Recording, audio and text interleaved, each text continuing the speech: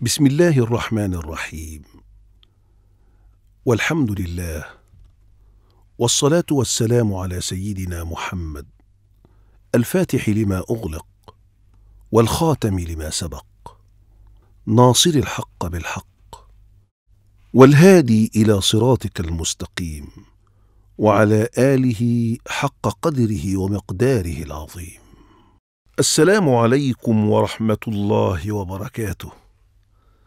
ما زلنا في رحاب الأنبياء فهم مصابيح الحياة وهم طوق النجاة وهم صفوة خلق الله وعباده. والآن موعدنا مع قصة يوسف الصديق. أحد أهم القصص كما ذكر في القرآن الكريم. قصته مثيرة للعقول والقلوب. قصة الصبر والمحن والابتلاءات المذهلة. هو يوسف بن يعقوب ابن إسحاق ابن إبراهيم ابن تارح ابن ناحور ابن ساروع ابن راغو ابن فالغ ابن عابر ابن شالح ابن أرفخشذ ابن سام ابن نوح. ويوسف من أنبياء بني إسرائيل. أبوه أيضا نبي وهو يعقوب عليه السلام. فهي سلسلة أنبياء مباركة.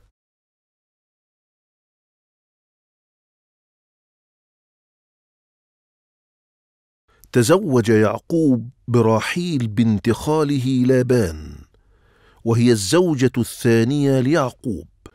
وهي أيضا الأخت الصغرى لزوجته ليئة بنت لابان وكانت راحيل هي البنت الأجمل ولم يكن الجمع بين الأختين في الزواج محرما في ذلك الوقت.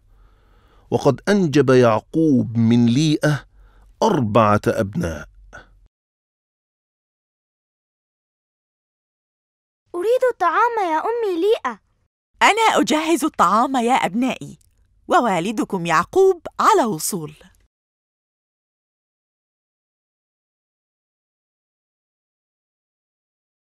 يا تقي ادعو الله أن يرزق راحيل الذرية الصالحة فإن يعقوب النبي يحبها ويتمنى أن ينجب منها. نعم يا زاهد إن يعقوب النبي يحب راحيل. وهي تتألم لأنها لم تنجب منه حتى الآن. ومن كرم أخلاقها أعطته جاريتها بلها كي يتزوجها وينجب منها.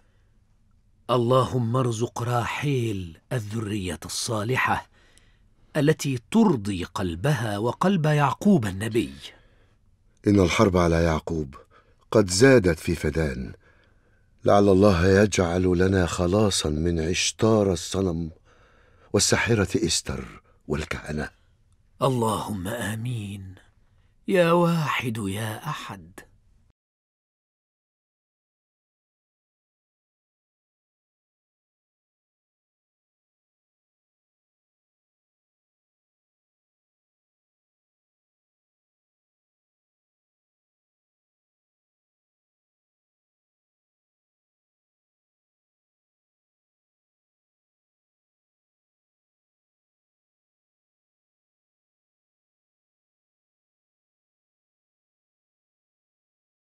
فقال لها يعقوب السلام عليكم يا زوجتي راحيل الطيبة. وعليكم السلام يا نبي الله يعقوب. رأى يعقوب أن زوجته حزينة لأنها لم تنجب له اطفالا حتى الآن. فأوضح لها يعقوب إن الإنجاب هبة من الله يا راحيل فلا تحزني فهذا قدر الله. الزوجة المحبة.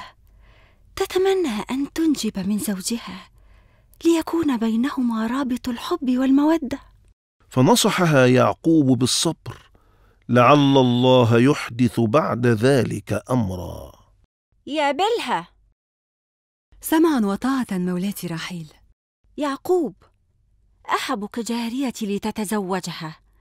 فقد أهداني أبي لابان هذه الجارية من قبل. يا له من شرف عظيم يا مولاتي. فشكرها يعقوب لأنها دماثة خلق وإيثار من رحيل. سعادتك يا نبي الله هي سعادتي وفرحتي. فاهنأ وتزوج وأنجب. جزاك الله عني خيرا.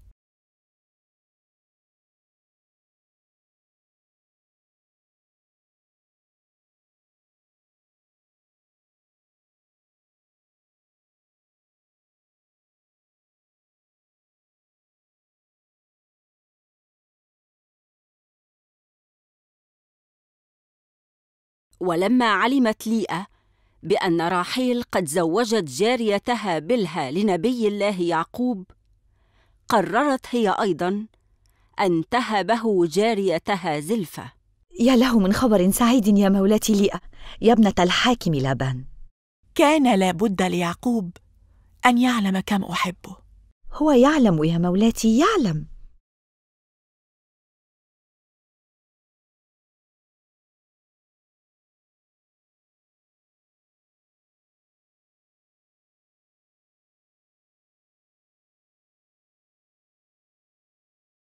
لا إله إلا الله وحده لا شريك له.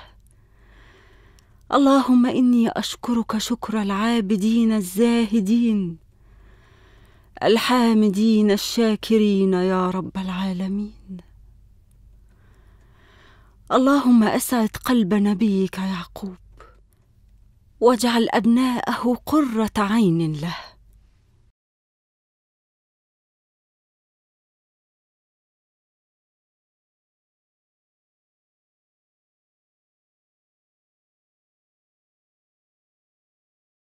يا لبان عليك أن تمنع يعقوب مما يفعله. فإن الفقر يحط على فدان وعلى أهلها. أيها الكاهن يعقوب ابن شقيقتي وزوج ابنتي ليئة وراحيل ولكن عقيدته شيء يخصه وحده لا أتدخل فيه. ولكنك تستطيع أن توقف يعقوب عما يقوله للناس. أيها الحاكم لابان فلقد أساء إلى عشتار الإله. عليكم أن تردوا على يعقوب بالحجة البالغة. نحن نعمل لك ألف حساب يا لبان ولكن هناك حدود لا يمكن ليعقوب أن يتخطاها. سأتحدث إليه. عله يرجع عما يفعله. نحن لن نتحمل هذا كثيرا أيها الحاكم لابان هل أعتبر هذا تهديدا يا استر نحن في محنة كبرى بسبب ابن أختك يعقوب. ها يا لبان. اهدئي يا إستر. لابان ليس طرفا في هذا النزاع.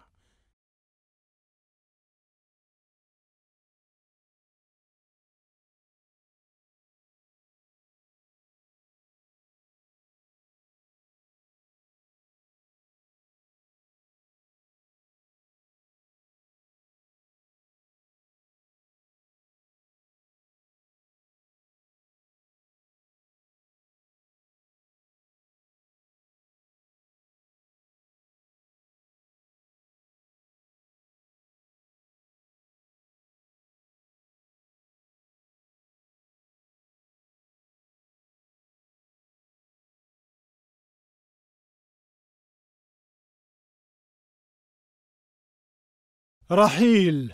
أبي. أين يعقوب يا ابنتي؟ فلقد وضعني في موقف لا أحسد عليه فهو يغضب كهنة عشتار. يعقوب هو نبي الله يا أبي. ولا يستطيع أن يترك الرسالة لأجل إستر أو الكهنة. ولكني أخشى عليه من بطشهم. فقال يعقوب الله خير حافظا يا خالي لابان. وما أفعله هو تبليغ رسالة رب العالمين. ولكنهم يتهمونك بأنك سبب القحط والحرب في البلاد يا يعقوب. يقول يعقوب لا إله إلا الله والعطاء والمنع بيد الله عز وجل يا خالي. اطمئن. وفقك الله يا زوجي النبي يعقوب. إن لراحيل مكانة كبيرة في قلبي يا يعقوب فاهتم بها. يا عشتار يا أيتها الإلهة الحنون على أبنائنا. إن ابنتي مريضة أستغيث بك. أريد منك الشفاء والعافية. هكذا أنتم يا أهل مدينة فدان. لا تستطيعون فعل أي شيء دون الرجوع إلى عشتار.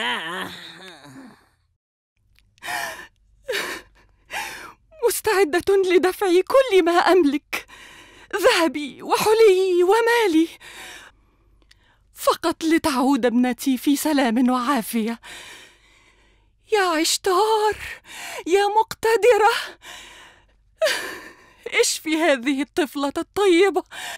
ولك عند أهلها كل ما تطلبين من مال وذهب وفضة.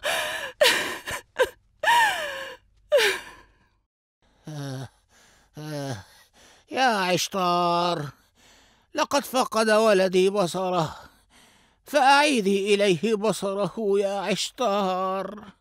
آه. لك كل ما عندنا. خذي منزلنا وزروعنا يا عشتار. واشفي هذا الطفل المسكين.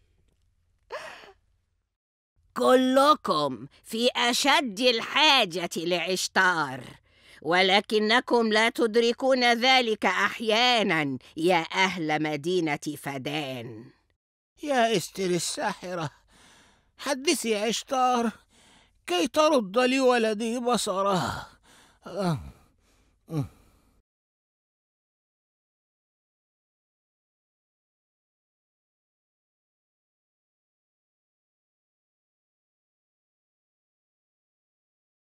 قف أيها الرجل ماذا؟ أريد مالك من أنت أيها اللص؟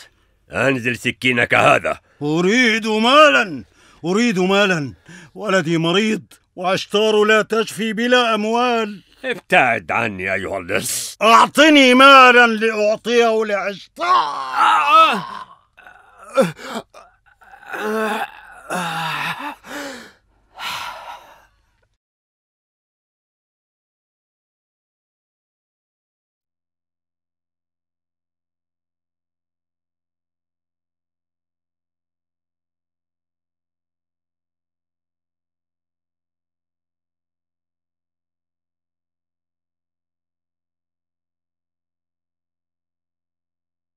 بسم الله والحمد لله والصلاة والسلام على أشرف الخلق معلم البشرية مكارم الأخلاق سيدنا محمد ابن عبد الله.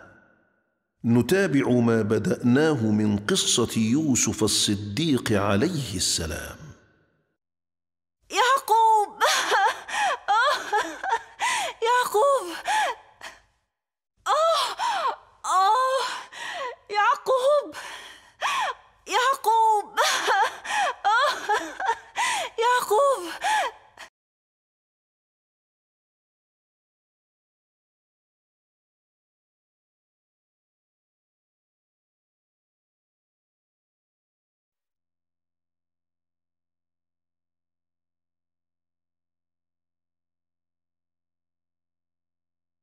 راحيل أختي ماذا أصابك؟ آه آه بطني يؤلمني يا ليئة آه.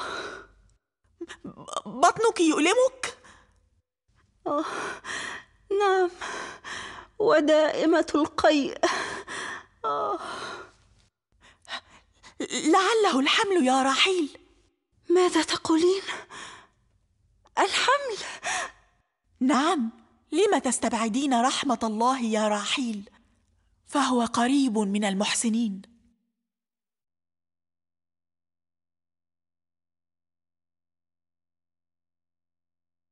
ووقف يعقوب ينصح قومه بأن الله هو الواحد الأحد الخالق الرزاق. ولكننا نجد في الالهه عشتار ما يسعد قلوبنا ويحفظ أبناءنا. فرد عليهم يعقوب بأن التوحيد هو السبيل الوحيد للنجاة في الدنيا والآخرة وأن ما عليه عشتار من كفر ووثنية لن يدوم كثيرا وأن الله بالغ أمره. يا نبي الله يعقوب يا نبي الله يعقوب ابشرك بأن راحيل حامل ففرح يعقوب ليس فقط لأن راحيل ستنجب له مولودا وإنما لأن الله قد من على راحيل بنعمة الحمل والإنجاب. وانطلق يعقوب نحو منزل راحيل فرحا.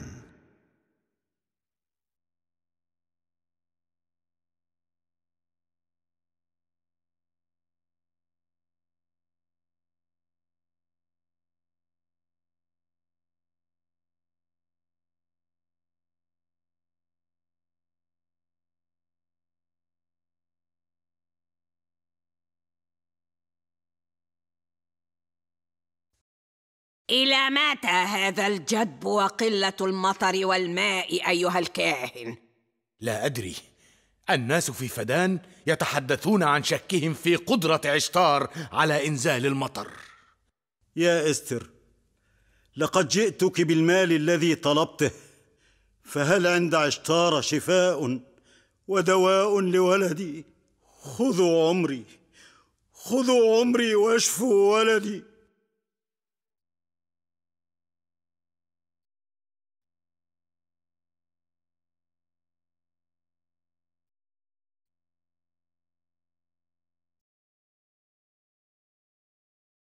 لا أدري لماذا كل هذا الهجوم على نبي الله يعقوب فهو لم يفعل شيئا سوى سوى الدعوة إلى الله عز وجل دعوة توحيد الله.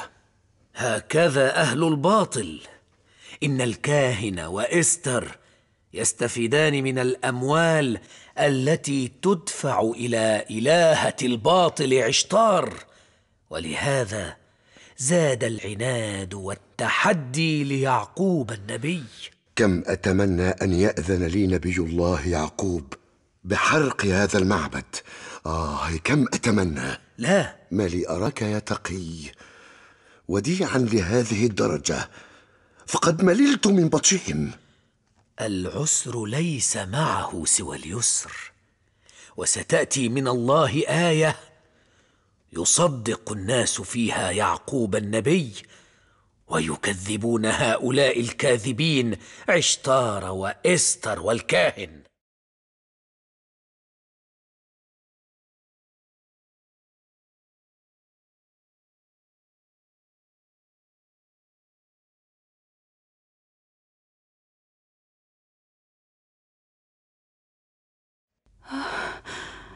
أشعر بإرهاق وتعب شديد.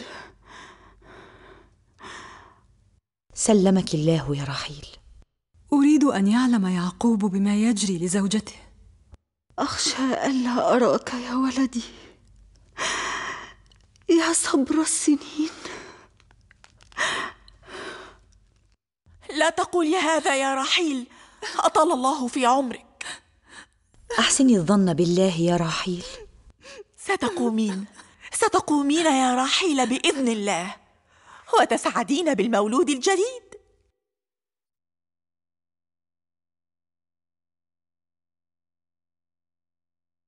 رحيل على فراش المرض وربما الموت. ليس هناك حل سوى الذهاب إلى إستر وعشتار رفض يعقوب هذا رفضا أغضب لابان والد رحيل وأصر على الا يتجه أحد إلى الشرك والوثنية. أنا لا أقتنع بهذا يا يعقوب. سألجأ إلى ما ينفع ابنتي فقط.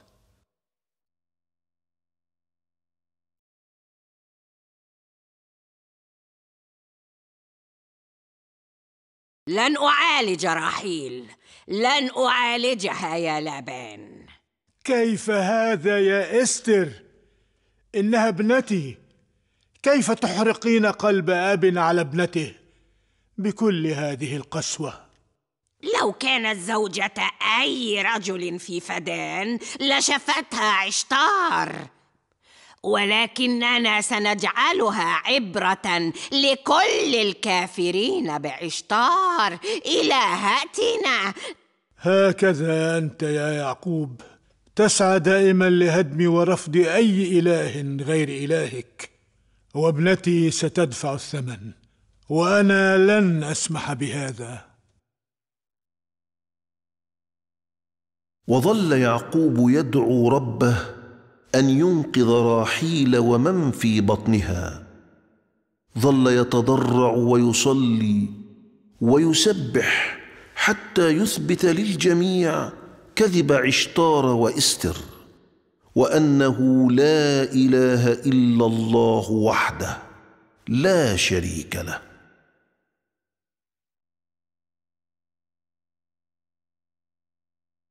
ولدت راحيل وحمل يعقوب الطفل وأسماه يوسف. ويقول ما أجملك يا ولدي؟ ما أجملك يا يوسف؟ حفظك الله وجعلك قرة عين لي ولأمك. منذ أحد عشر عاما وأمك تنتظرك يا يوسف وها هو فضل الله قدم علينا بك يا يوسف.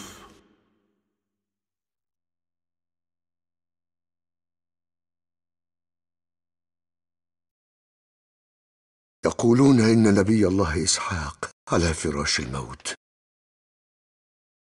ومن يحكم كنعان إذا مات نبي الله إسحاق؟ يحكمها ابنه نبي الله يعقوب عليه السلام. اذا فليبلغه الناس بهذا حتى يأتي إلى أرض كنعان. لقد مات ولدي يا عشتار لقد مات إستر. قتلت لأجل المال ولم يشفى ولدي. عشتار يا كاذبة أيتها الكاذبة. مات الولد مات فلذة كبدي يا عشتار عشتار أيتها الكاذبة.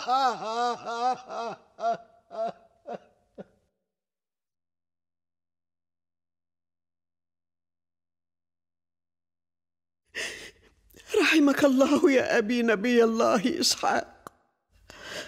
رحمك الله.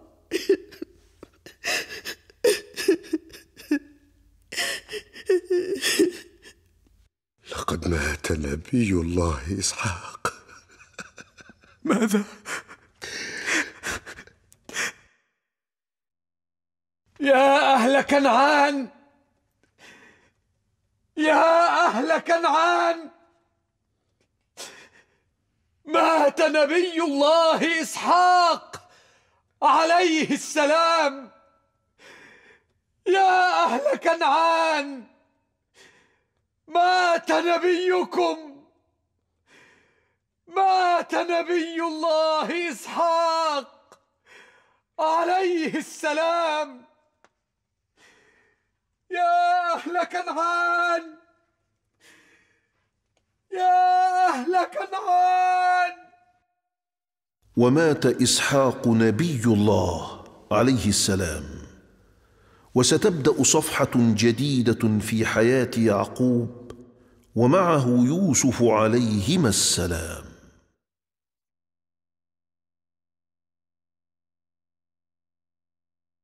يا عشتار يا عشتار اقتلي راحيل ومولودها.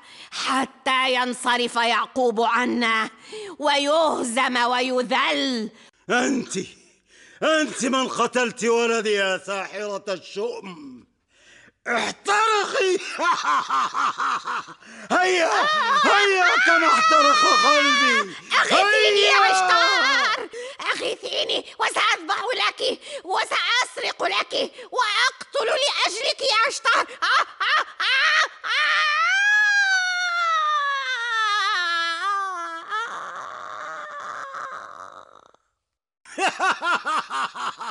احترقي أنت وعشتارك يا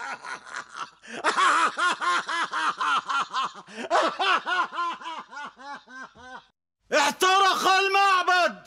احترق المعبد! احترق المعبد! احترق المعبد! احترق احترقت إستر وهرب حراس المعبد! سقطت عشتار واحترقت إستر وهرب الكهنة. فمن لك يا رحيل؟ فمن لك يا رحيل؟ من الذي سينزل المطر؟ ومن الذي سيشفي المرضى؟ لقد ولدت رحيل ولدت رحيل ولدت طفلا جميلا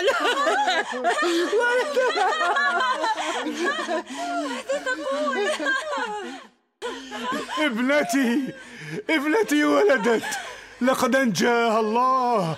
لقد آمنت برب يعقوب.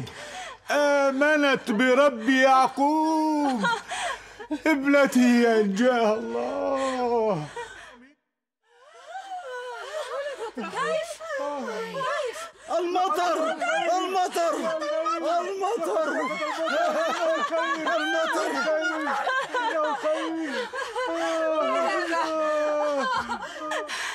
لقد نزل المطر على أهالي فدان فماذا كانت تفعل عشتار إذن؟ ماتت إستر الكاذبة وبقي إله يعقوب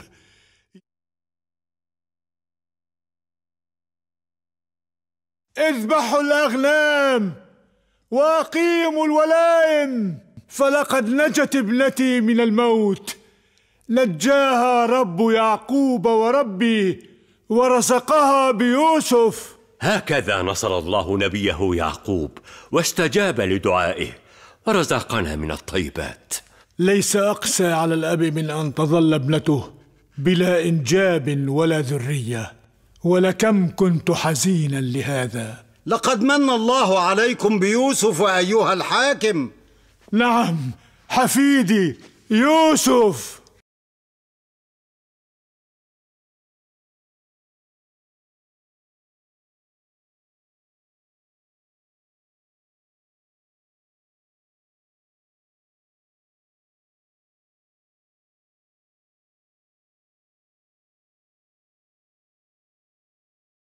بسم الله والحمد لله والصلاة والسلام على أشرف خلق الله. السراج المنير سيدنا محمد بن عبد الله. رحل يعقوب مع أهله متجها إلى أرض كنعان ليكون خلفا لوالده إسحاق النبي في كنعان. وفجأة أصاب راحيل ألم شديد. استوقف يعقوب عليه السلام آه آه آه آه آه يعقوب يعقوب أشعر بألم شديد آه آه ماذا بك يا أختي راحيل؟ لماذا تتألمين؟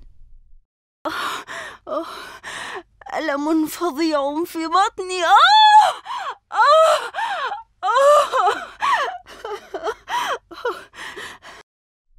ماذا نفعل؟ ونحن في الطريق إلى كنعان؟ قلق يعقوب على راحيل التي تعبت في ولادتها الأولى في يوسف وكادت أن تموت وأخذ يدعو ربه أن ينجي راحيل. آلام الحمل تظهر عليك يا رحيل. لابد أن تصبري. أخشى أخشى ألا ألقى وليدي يليئة فأنا أشعر بدنو الأجل ستقومين؟ ستقومين يا راحيل بإذن الله. وتسعدين بالمولود الجديد. لا تقولي هذا. فالأعمار بيد الله يا رحيل. كان لابد لنا من الرحيل مع نبي الله يعقوب. فلا أستطيع العيش من دونه في فدان.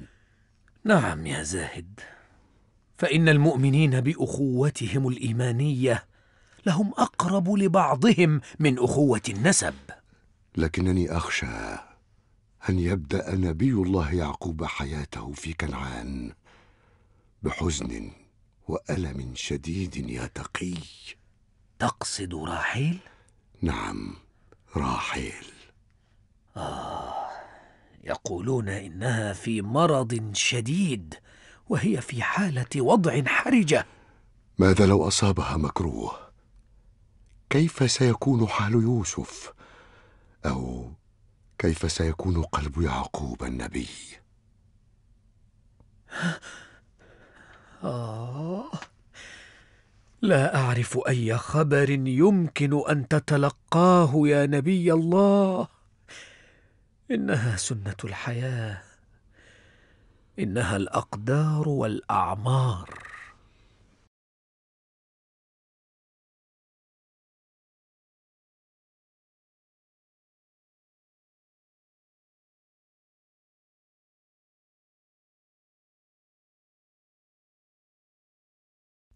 راحيل. تماسكي. تماسكي يا راحيل. إنها في حالة إعياء. قد لا تستطيع تحملها. أتمنى أن تقومي ليوسف. فهو في أشد الحاجة إليك يا راحيل. أشعر بقرب نهايتي يا ليئة أشعر بالموت يقترب مني. لا تقولي هذا يا رحيل.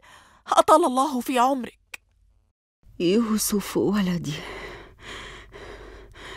يوسف هو أمانة في عنقك. فلا تفرطي فيه يا ليئة. ستقومين يا رحيل بإذن الله وتسعدين بالمولود الجديد. نعم نعم يا رحيل. كل شيء بقدر الله. فلا تخافي. أريد أن أرى ولدي يوسف. لعلها النظرة الأخيرة.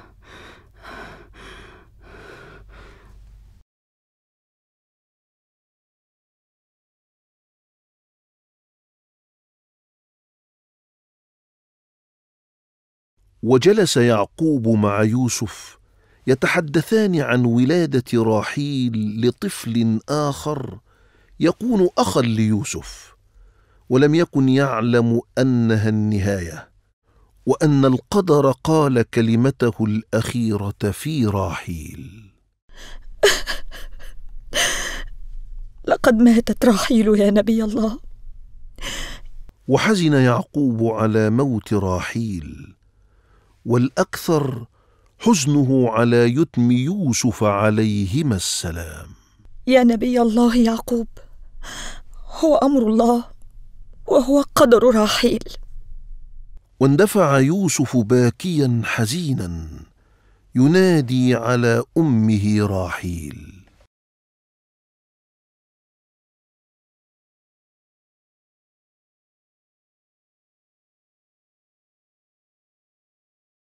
لقد أنجبت طفلا جميلا.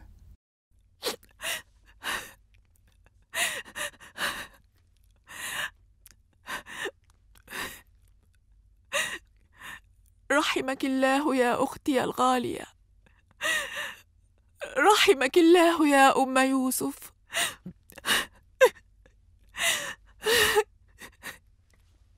ولدك أمانة في أعناقنا يا راحيل يا يوسف اصبر يا حبيبي. وبموت راحيل انكسر قلب يوسف. والسؤال الآن من سيتولى رعايته وتربيته؟ ورأى يعقوب زوجته في فراش الموت فاحتضن يوسف وبكى فقد تيتم يوسف عليه السلام.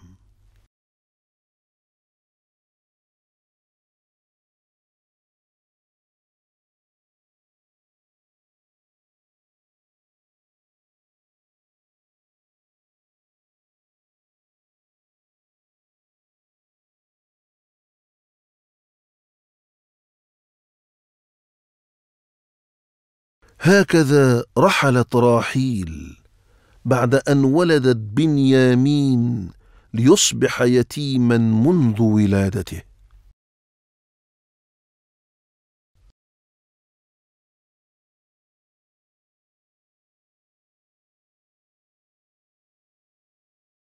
يا عباد الله يا عباد الله ها هو يعقوب النبي قد أتى.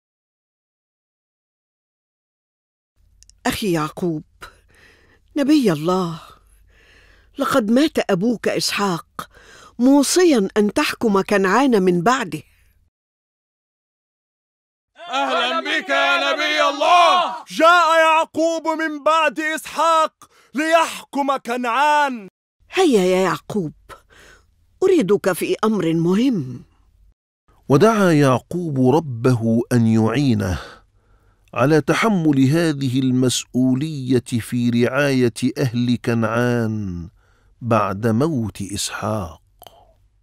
لم أكن أتوقع يا زاهد كل هذه الحفاوة في استقبال نبي الله يعقوب. وكيف لا يا تقي؟ فهو من سيحكم كنعان بعد أبيه إسحاق عليهما السلام. أعانك الله يا نبي الله. وأفرغ عليك الصبر الجميل. آه الحزن على وجهه لا يفارقه وذلك لفراق رحيل.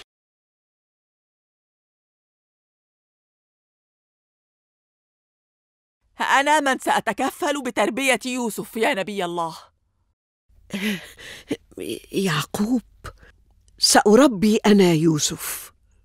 لا بل أنا من سيربي يوسف. ورفض يعقوب أن يعيش يوسف بعيدا عنه. يعقوب أنا امرأة مسنة لم أنجب وأريد أن يكمل يوسف عمره معي. لا تتحدثي يا فائقة في هذا فهو لي.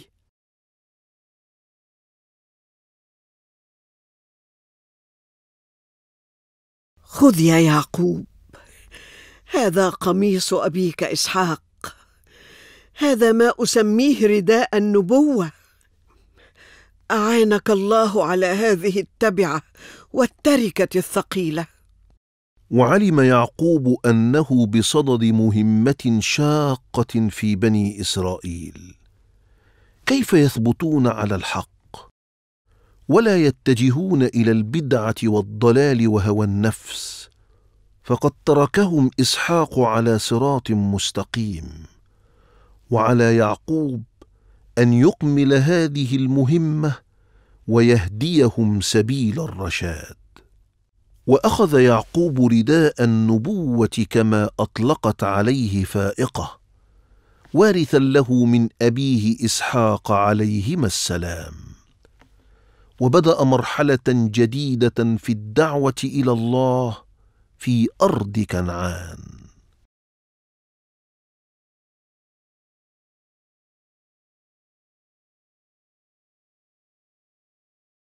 زيديني طعاما يا أمي مثل يوسف.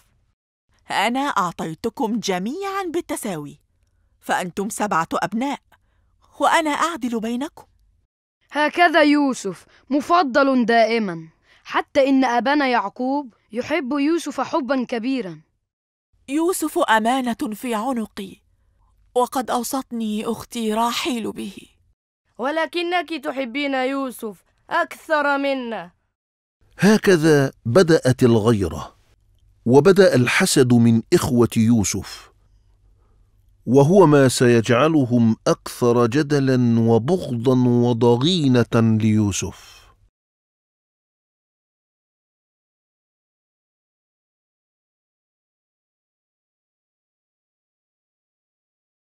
ألا ترون أن أبانا يهتم بيوسف أكثر من اهتمامه بنا؟ نعم وهذا الأمر يثير غضبنا ويزيد من بغضنا ليوسف. من ستكون له النبوة من بعد أبينا يعقوب؟ الأقوى ستكون له النبوة. وربما الأصلح. لكن المهم الآن هو كيف يميل قلب أبينا لنا بعيدا عن يوسف. أصبحت لا أطيق يوسف هذا. لن يستمر الأمر هكذا أبدا. حتى عمتنا فائقة تحب يوسف وتعتني به عناية تثيرني وتزيد الغل والحقد في قلبي.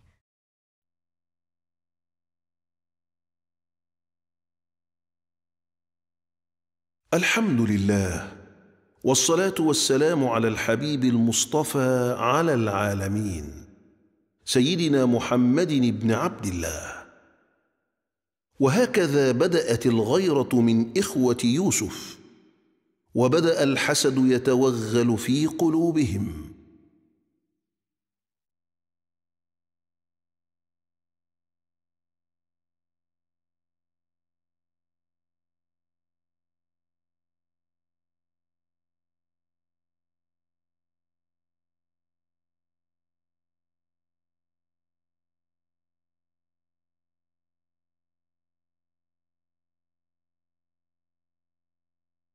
أتريد أن تلعب يا يوسف يا حبيبي؟ اذهب يا بني. اذهب والعب مع الصبية هيا.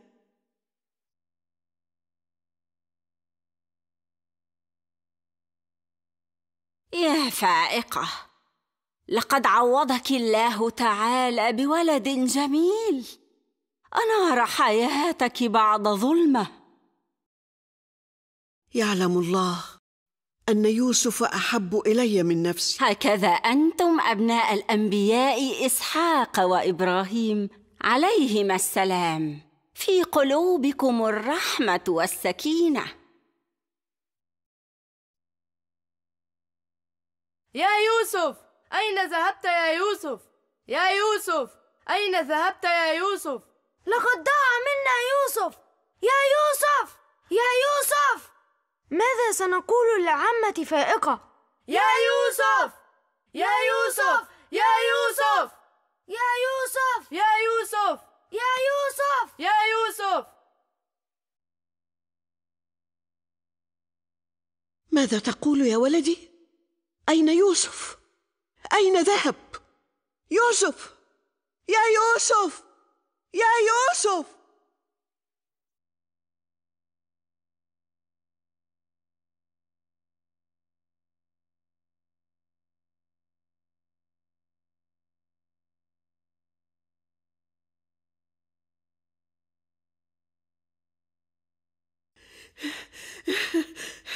ماذا ماذا سأقول لأبيك يا يوسف؟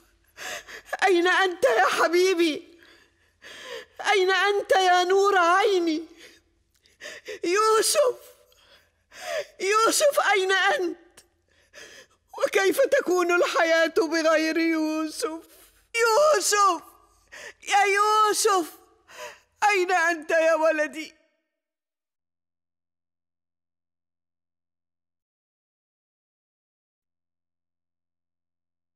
يا أمي لقد تاه يوسف يا أمي ماذا تقول يا بني؟ يوسف كان يلعب معنا ثم اختفى هذه هي الأمانة التي أعطيناك إياها يا فائقة سأذهب لأقول لأبي يعقوب وهل يتحمل قلب أبيكم كل هذه المصائب المتتالية؟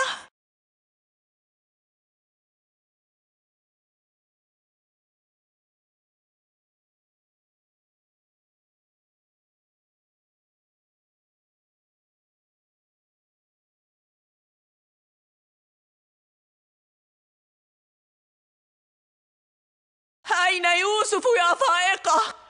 هذه هي الأمانة؟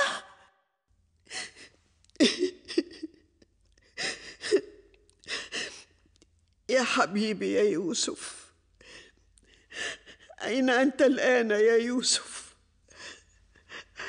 أنا لا أخون أمانتي أبدا أبدا فكيف حدث هذا يا عمتي؟ لا أعرف لا أعرف. ولدي حبيبي يوسف. لابد أنه مختبئ في مكان ونام فيه. المهم ألا يكون قد اختطفه أحد. هذا ما يقتلني رعبا. هيا نبحث عنه بدلا من البكاء والعويل.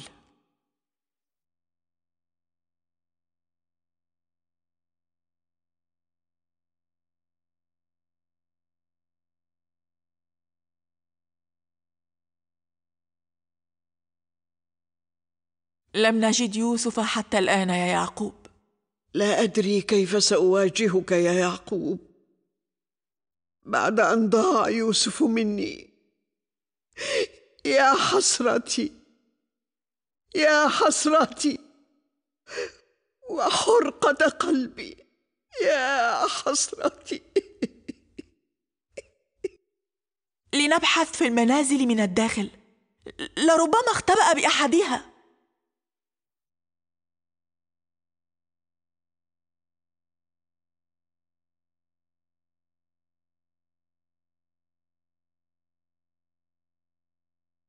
يوسف يوسف يوسف يا حبيب قلبي ونور عيني يوسف يوسف يوسف.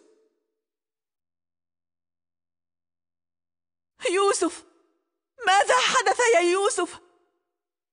يا بني يا حبيبي يا بني. قال يوسف كنا نلعب. وحاولت أن أختفي عن أصحابي. لن يكون له مكان معك بعد هذا يا فائقة. وأنا لا أستطيع العيش بدون يوسف يا ليئه سيكون للحديث بقية مع نبي الله يعقوب.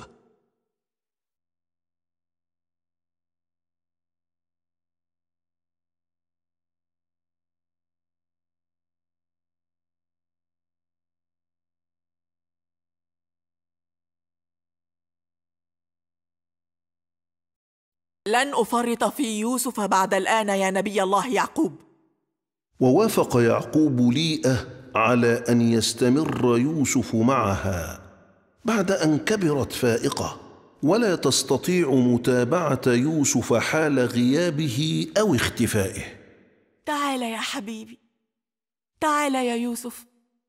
ستعيش معنا وسط أبنائي يا حبيبي مع اخواتك ولم يكن يوسف يرغب في فراق فائقة لما وجده عندها من حب وحنان ورعاية.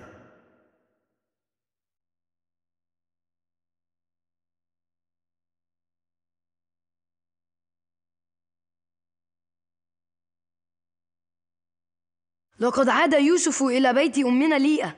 وعاد اهتمامها به. ربما تغير الأمر. ماذا ترى يا أخي؟ أنا قلق من رجوع يوسف لبيتنا فأمي قد تميزه عنا. لا خوف من الظلم فأنا زوجة نبي الله يعقوب. علمني العدل والمساواة. يا أبنائي الأعزاء. نحن لم نقصد شيئا يا أمي لكننا لكنك الابن الأكبر. وكان عليك أن تهذب وتهدئ من غضب إخوتك.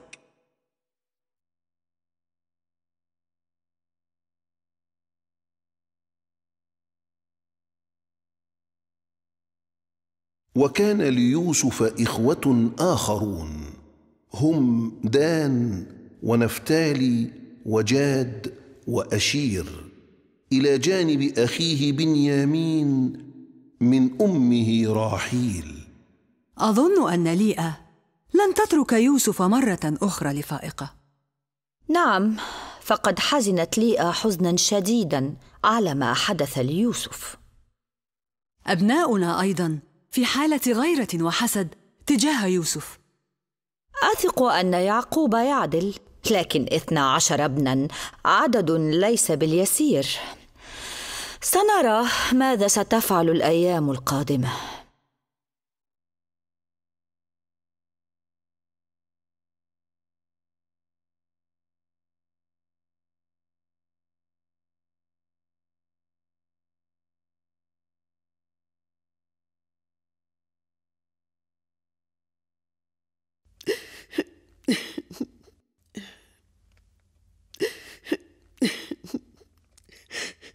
هل دعت مني يا يوسف؟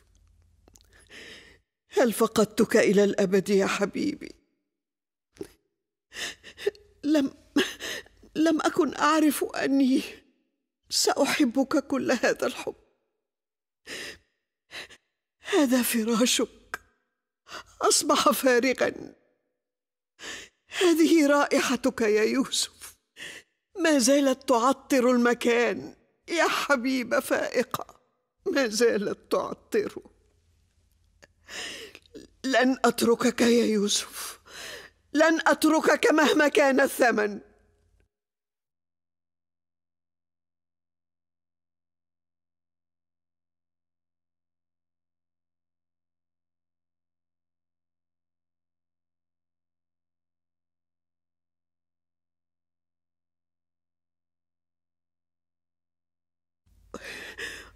أريد ليوسف أن يبيت في حضني ولو لليلة واحدة.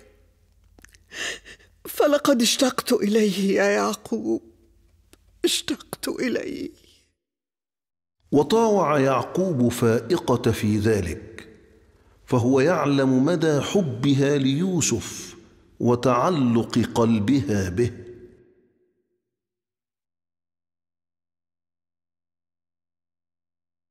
لن تترك هذا المكان ثانية يا يوسف حتى موتي. وكان يوسف في منتهى السعادة برجوعه إلى فائقة. لابد أن تكون هناك حيلة لتبقى معي يا يوسف.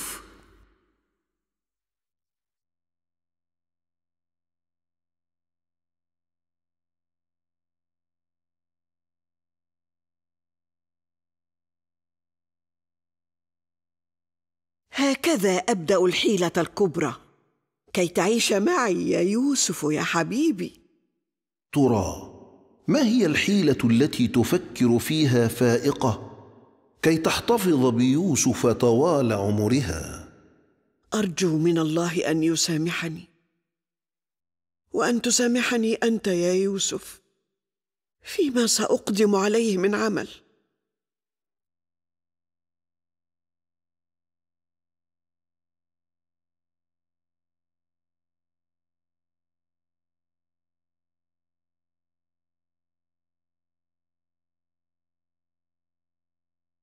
ها هي الأمانة يا ليئة. ها هو يوسف قد أعدته إليكم. نعم الأمانة ونعم المؤتمن يا فائقة. أهلا يا يوسف أهلا يا حبيبي أهلا. عاد يوسف يا أخي. أهلا بك يا يوسف في بيتك.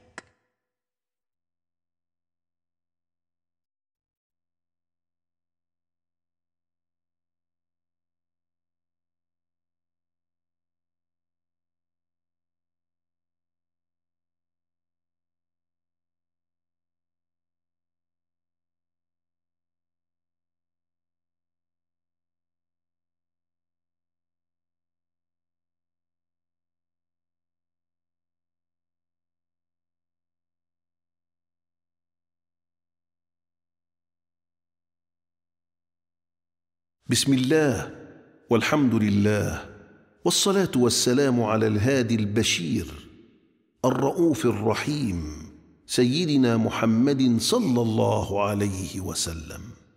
ترى ما الذي ترتب له فائقة حتى تحتفظ بيوسف الذي أسعد قلبها ولا تستطيع فراقه.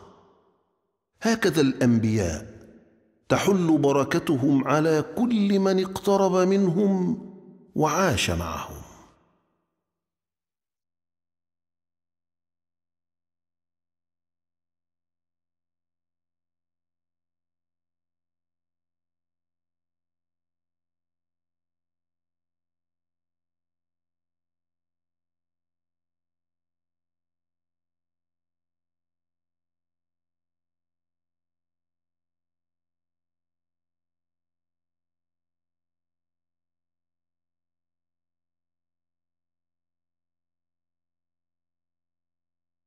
هل سيخضع يعقوب لرغبة فائقة؟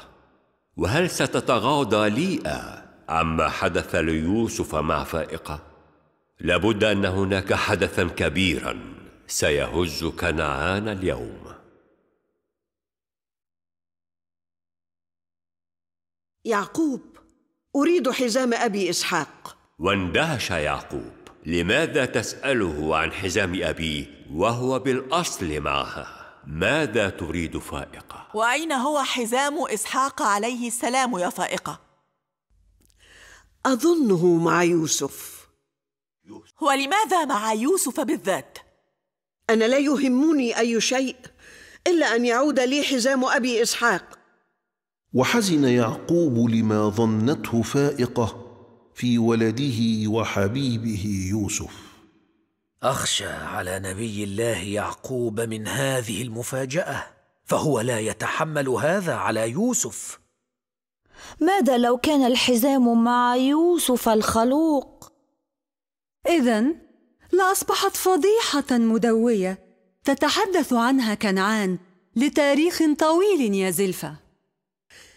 يعقوب دعني أفتش يوسف فلربما كان الحزام معه. لا! يوسف لا يمكن أن يفتشه أحد فهو الكريم ابن النبي. ولكنه بشر مثلنا قد يصيب وقد يخطئ. فلما لا يتم تفتيشه؟ لعلها نهايتك يا يوسف. لعلها سوء الخاتمة. لم أتوقع أن الحزام معه. أنا لا أرتاح لمن يقولون عنهم اتقياء وأنقياء. هيا. هيا فتشيه يا عمتي لعله السارق. اصبروا فيوسف ليس ذلك الطفل اللص. هكذا أنت دائما تدافع عنه يا لاوي. انتظروا قليلا فالعمة فائقة تتقدم نحو يوسف. انتظروا انتظروا. هذا هو حزام أبي إسحاق يا يعقوب. لقد سرقه يوسف. لا لا! يوسف ابن راحيل لا يسرق ابدا! لقد ضاع يوسف وحقت عليه شريعة كنعان. شريعة كنعان تطبق على ابن النبي يعقوب؟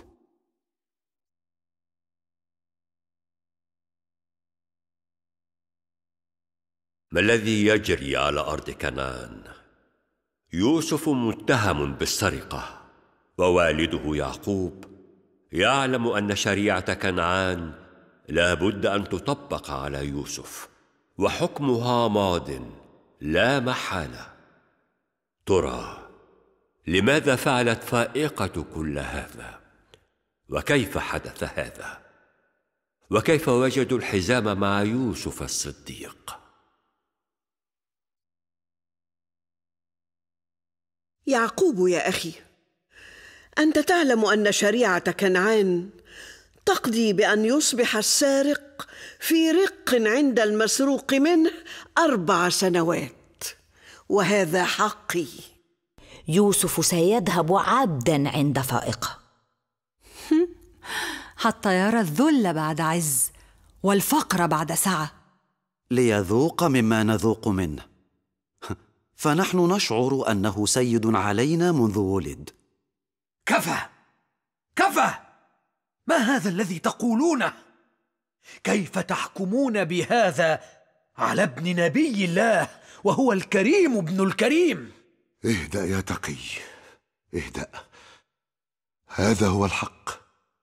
ونبي الله يعقوب لا يفرق في الحكم بين الناس. ولم يكن أمام يعقوب إلا أن يرضخ لشريعة كنعان. ويصبح يوسف من حق فائقة لمدة أربع سنوات. لا أدري ما الذي يحدث. لا أدري. سقط يوسف في الرق. وبهذا ينتهي يوسف بالنسبة ليعقوب. بعد أن جلب له العار فهو سارق.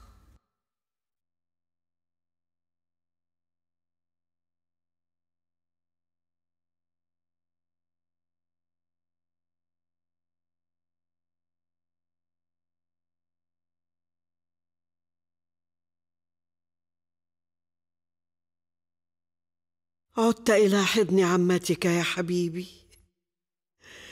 عدت يا يوسف. أربع سنوات كاملة. لن تفارق هذا المكان يا يوسف. نعم لجأت إلى حيلة سرقة الحزام. لكني لم أجد حلا آخر سوى هذا الحل يا يوسف. فسامحني. سامحني يا حبيبي.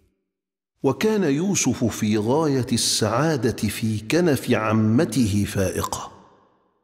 فهي قد أصبحت القلب الرحيم والسند والأمان ليوسف الصديق. ظل يعقوب يتعبد ويدعو ربه ويتوسل إليه أن يهدي قومه وأن يحفظ أبناءه وأن يصلح ذات بينهم بعد أن زاد حسدهم لأخيهم يوسف دون سبب. غير أن أباه يعقوب يراعي أنه يتيم فقد أمه في أهم مراحل حياته.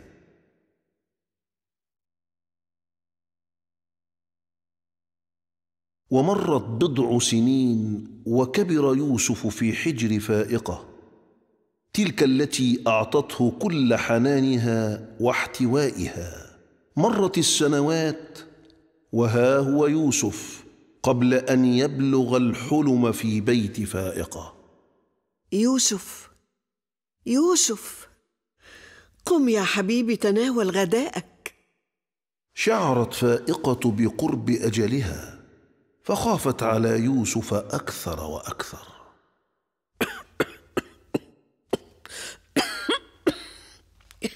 يا, يا يوسف كن حريصا على نفسك. واحترس من إخوتك. أن يكيدوا لك كيدا. فالحقد قد يؤذيك يا حبيبي.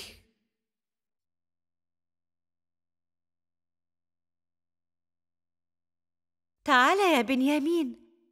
تعال يا يوسف. لا تلعبا بعيدا عني فأنا أخاف عليكما.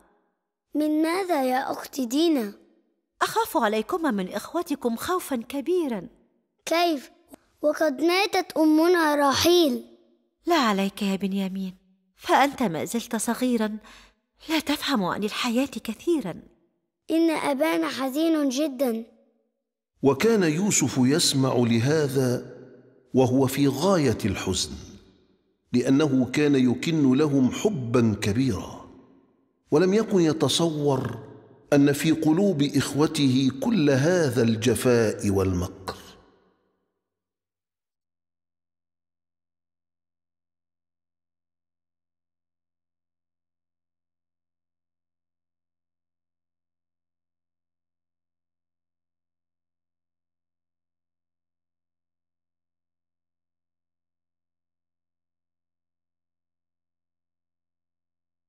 ما زال اهتمام أبينا والعمة فائقة.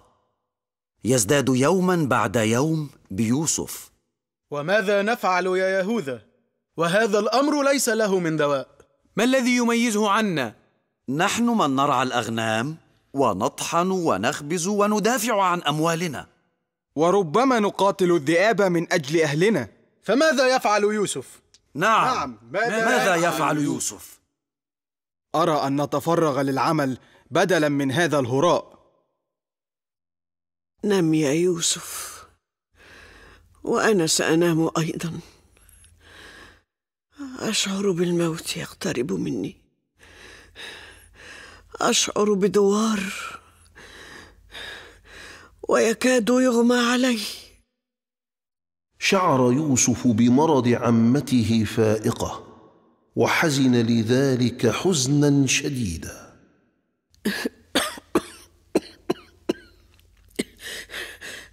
لا تحزن يا يوسف لا تحزن يا حبيبي ولكني أريد الآن أخي يعقوب وخالتك ليئه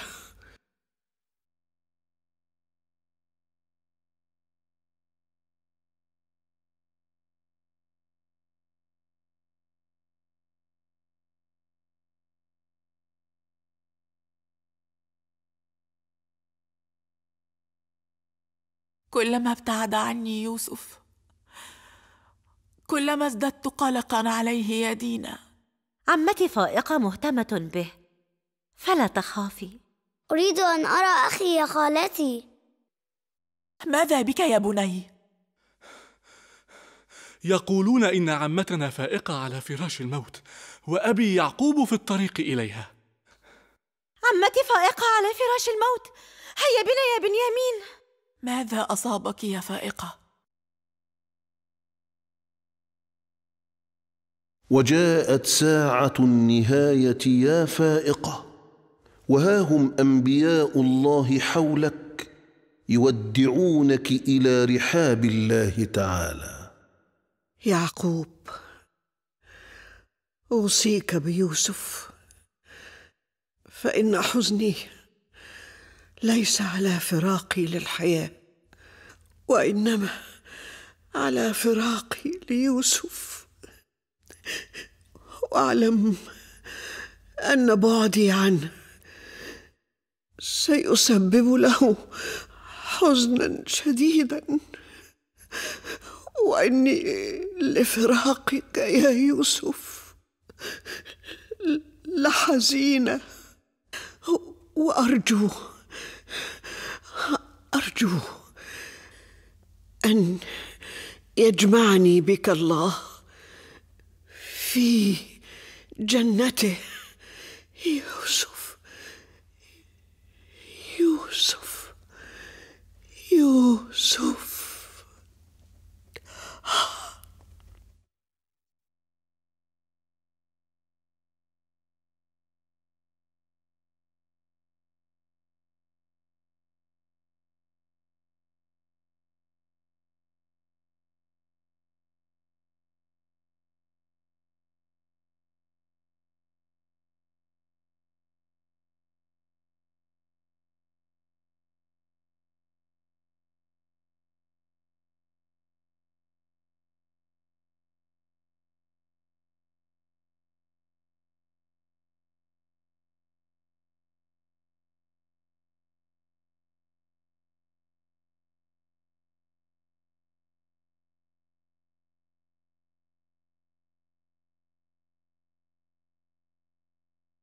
بسم الله والحمد لله والصلاة والسلام على رسول الله سيدنا محمد صلى الله عليه وسلم. ماتت بنت إسحاق وأخت يعقوب. ماتت من فتحت قلبها وبيتها ليوسف الصديق. فماذا سيجري في الأيام القادمة؟ سنرى.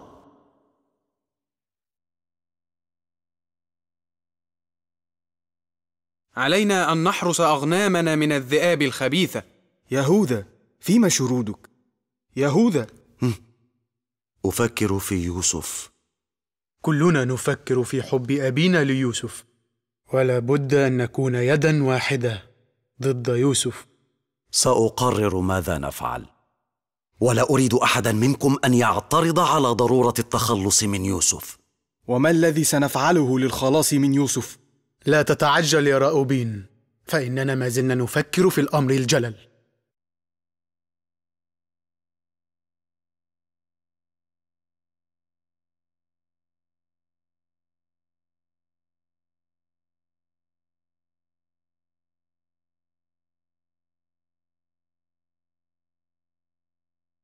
لا أدري إلى متى هذا التمييز ليوسف من أبيه ومن قبله فائقة.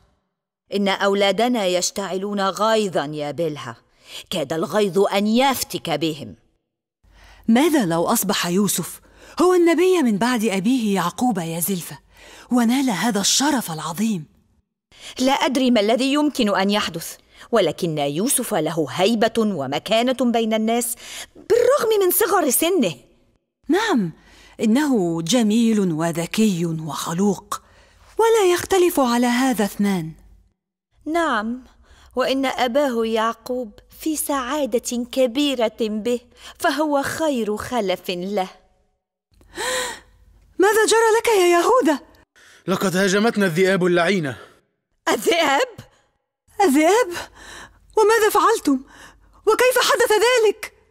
كنا نتحدث عن يوسف وفجأة هاجمت الذئاب القطيع. يوسف يوسف! المشكلة الكبرى في حياتنا هي يوسف. هو بالفعل مشكلة ولكن ستنتهي قريبا. لك الله يا يوسف ما كل هذا الحسد ضدك يا نبي الله؟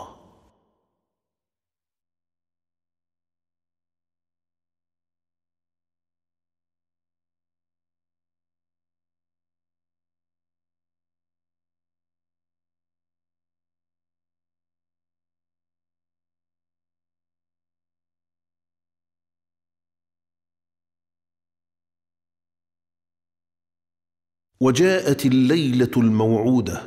جاءت ليلة الرؤيا التي غيرت مجرى حياة يوسف وأبيه يعقوب. وجاء موعد فاصل في حياة يوسف. رأى يوسف أحد عشر كوكبا والشمس والقمر له ساجدين. يوسف سيتحول إلى علامة فارقة في تاريخ الأنبياء والصالحين. يوسف سجد له الشمس والقمر وقص يوسف رؤياه على أبيه وخاف يعقوب على ولده يوسف من حسد إخوته ومنعه من قص الرؤيا عليهم. مخافة أن يكيدوا له مكيدة لا يستطيع يوسف الصبي تحملها.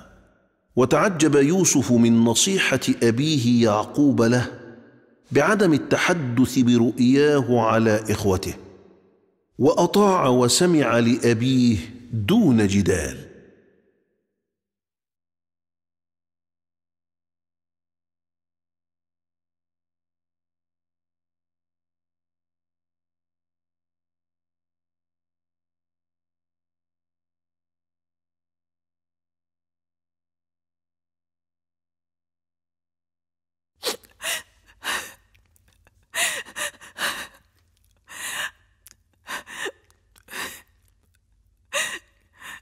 رحمك الله يا أختي الغالية.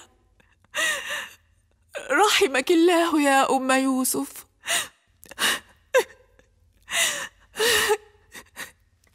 لتعلم يا بني أنك ويوسف مثل أبنائي بعد موت أمكم راحيل.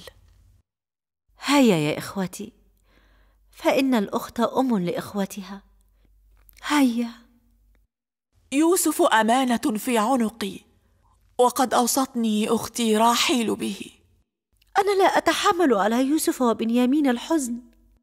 كلما ابتعد عني يوسف كلما ازددت قلقا عليه يا دينا. وظل يعقوب محافظا على يوسف حتى لا يمسه أي سوء من إخوته الذين دبروا امرا للخلاص من يوسف.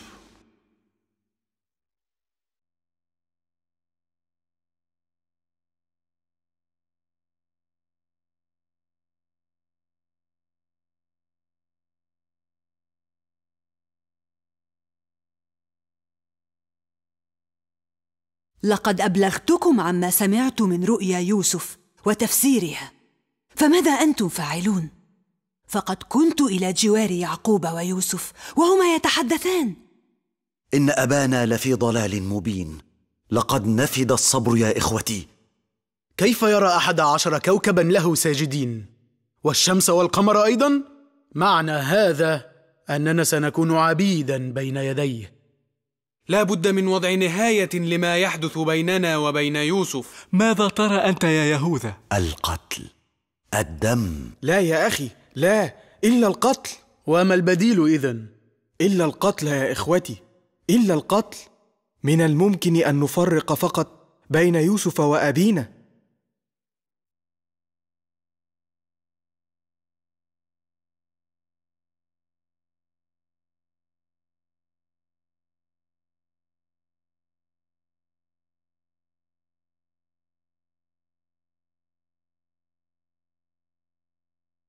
لا إله إلا الله وحده لا شريك له. اللهم إني أسألك من فضلك العظيم. اللهم احفظ يوسف ابن يعقوب من الحاقدين ومن الحاسدين. فإنه قرة عين أبيه يا رب العالمين. يا زاهد هل يساورك القلق فيما يدور حول يوسف؟ نعم فليس للناس حديث في كنعان غير هذا الذي يحدث من إخوة يوسف تجاهه. مع كل هذا الحقد يحدث أي شيء يتقيه. فيوسف منذ ولادته محبوب من الجميع. وهذا ما جعل إخوته يحسدونه وربما أرادوا إيذاءه.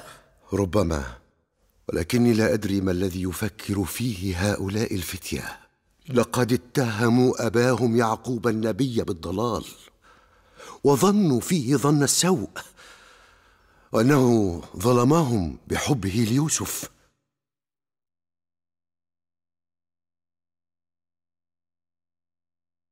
وكان يعقوب يتعبد لربه أن يهدي أبناءه. وحيدا يا يعقوب في خلوتك مهموما وحزينا لما يجري بين أبنائك. ما رأيكم لو أخذنا يوسف معنا إلى الصحراء ونحن نرعى الغنم؟ أعتقد أن آبانا سيرفض خروج يوسف معنا. اذا يذهب بعضنا لأخذ موافقة أبينا. لاوي فلتذهب أنت وخذ معك يشجر.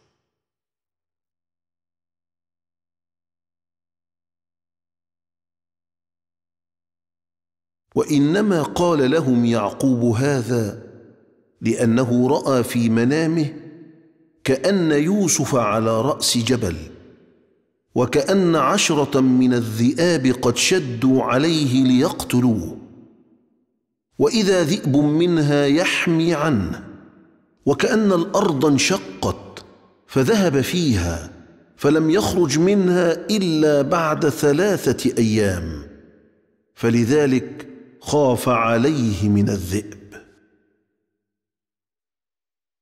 ورفض يعقوب خروج يوسف مع إخوته خشية أن يأكله الذئب.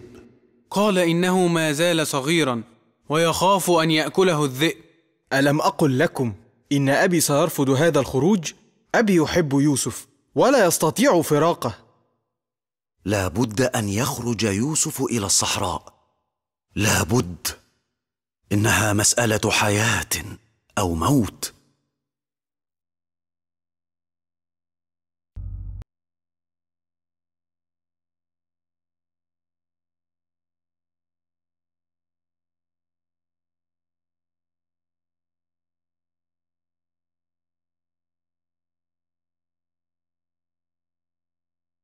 بسم الله والحمد لله والصلاة والسلام على رسول الله. ورفض يعقوب أن يخرج ابنه يوسف مع إخوته إلى الصحراء لما فيها من وحشة وظلمة وربما ذئاب ووحوش ولكن مكر الشيطان وخطواته ما زالت تحرض إخوة يوسف على الخلاص منه وإبعاده عن أبيه يعقوب النبي. ظلوا يتكاتفون ويدبرون لقتل يوسف حتى يتفرغ قلب يعقوب لحبهم. ألا يعلمون أن القلوب لها رب يقلبها كيف يشاء؟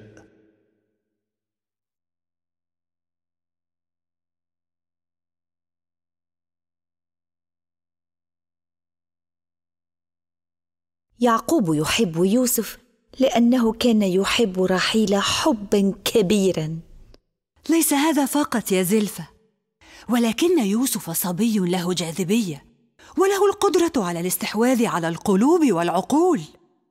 معنى هذا أن أولادنا لن يكون لهم أي نصيب في يعقوب في حياته وبعد موته. رفض يعقوب خروج يوسف مع إخوته دليل على تعلقه به. يعقوب لا يأمن أبناءه على يوسف فهو يشك في حبهم له. الأبناء في قلوبهم نار يا زلفة ولن يصمتوا على هذا الحب من يعقوب ليوسف. لا أدري إلى أي نهاية سنصل يا بلها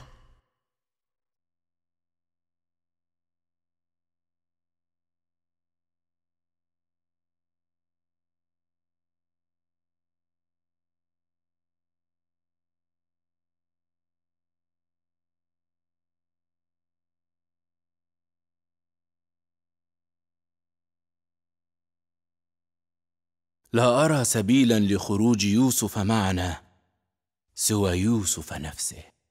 كيف يا يهوذا نعم لابد أن نقنع يوسف بالخروج معنا. يوسف ليس كبقية الصبية فهو ليس هو في النهاية طفل يحب اللعب واللهو. ما الذي تنوون عليه؟ أنا لن أشارك في قتل يوسف لن أشارك. ومن قال إننا سنقتل يوسف؟ اذا الأمر لن يتعدى سوى إبعاد يوسف عن أبينا يعقوب. نعم ونحن كلنا اتفقنا على ذلك. دوما أنت حنون يا أخي وعطوف على يوسف. لاوي لابد أن ننفذ ما نريد. أتفهمني؟ هيا يجب الا نضيع الوقت. لنذهب إلى أبينا لنقنعه بخروج يوسف معنا. وأنا سأذهب إلى يوسف لأقنعه بالخروج معنا. كل يقوم بدوره ها؟ ويوسف لن تكون له السيادة علينا ابدا ابدا.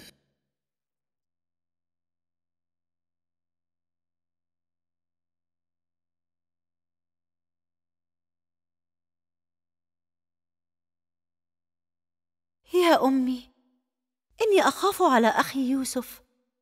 أشعر بقلق عليه. مسكين أنت يا يوسف وأنت يا بنيامين. إن اليتم مذلة والقلوب القاسية لا ترحم. لا أدري لماذا كل هذا الحقد والغل على هذا الفتى الجميل. يعلم الله كم أحبك يا أخي يوسف. طاب يومك أختي دينا. عندي لك طلب سيسعد قلب يوسف وما هو هذا الطلب يا شمعون؟ نريدك أن تقنعي أبانا يعقوب بخروج يوسف معنا للصحراء. الصحراء؟ ولكنه ما زال صغيرا. مستحيل أن يحدث هذا ابدا. فأنا أخشى عليه من الضياع والموت. لا أعتقد أن نبي الله يعقوب سيوافق على هذا ابدا.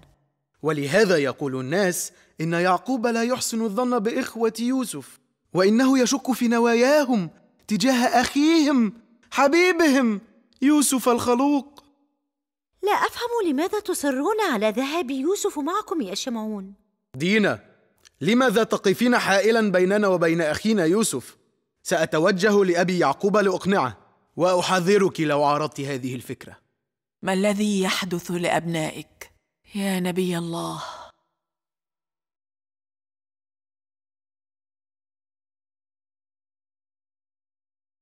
وجلس يعقوب مع قومه بني إسرائيل يهديهم سبيل الرشاد ويرشدهم إلى الصراط المستقيم ويعلمهم أن غاية أي عبادة توحيد الله وأنه لا إله إلا الله وحده لا شريك له. وكان يوسف دائما هو الأكثر التزاما بما يقوله أبوه. وكيف لا؟ وهو النبي القادم من عند رب العالمين. كان نبيها ذكيا وقورا من طفولته لافتا للأنظار طيب النفس والروح. ورغم كل هذه الشرور والأحقاد لم يزل يوسف رحيما بإخوته محبا لهم.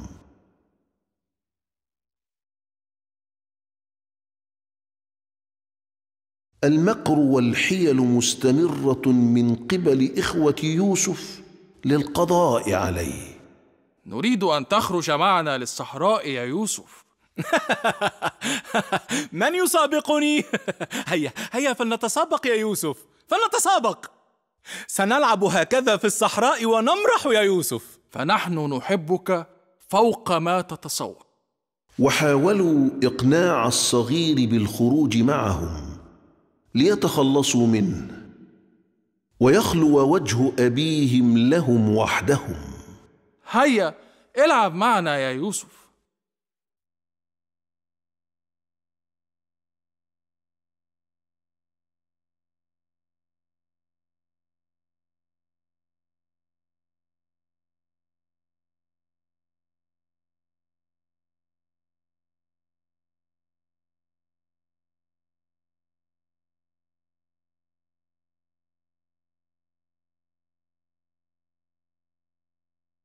يا ليئة لماذا لا تقنعين يعقوب بخروج يوسف مع إخوته؟ فهم أحبابه وليس له غيرهم في الحياة. نعم يا ليئة. عليك أن تطمئني على يوسف مع إخوته وعليه أن يتعود الخروج للصحراء. أه سأحدث يعقوب النبي في هذا. ربما كانت له وجهة نظر نحن لا نعرفها يا بلها يوسف ولد يتيم كذلك أخوه بنيامين لابد أن يختلط بإخوتهم الكبار ليتعلما منهم رعاية الأغنام والدفاع عن أنفسهم. سأحدث يعقوب النبي في هذا.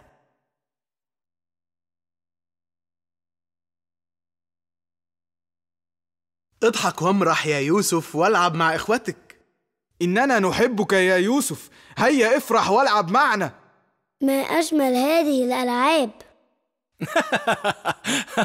من يسابقني؟ هيا هيا فلنتسابق يا يوسف فلنتسابق ما هذا الذي أراه؟ ما هذا الحب المفاجئ ليوسف من إخوته؟ أنا لا أشعر بالراحة مما أراه يا زاهد فربما دبروا أمرا وربما عادوا إلى رشدهم وأحسوا بخطئهم تجاه أخيهم سنلعب هكذا في الصحراء ونمرح يا يوسف. يهوذا لابد أن نقنع آبانا يعقوب بخروج يوسف معنا للصحراء. يا لها من ألعاب جميلة.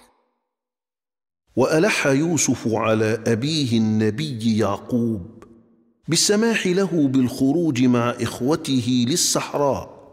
وكان يعقوب يرفض هذا متعللا بصغر سنه وخوفه عليه من الذئاب المتوحشة ولكن يوسف أصر على ذلك.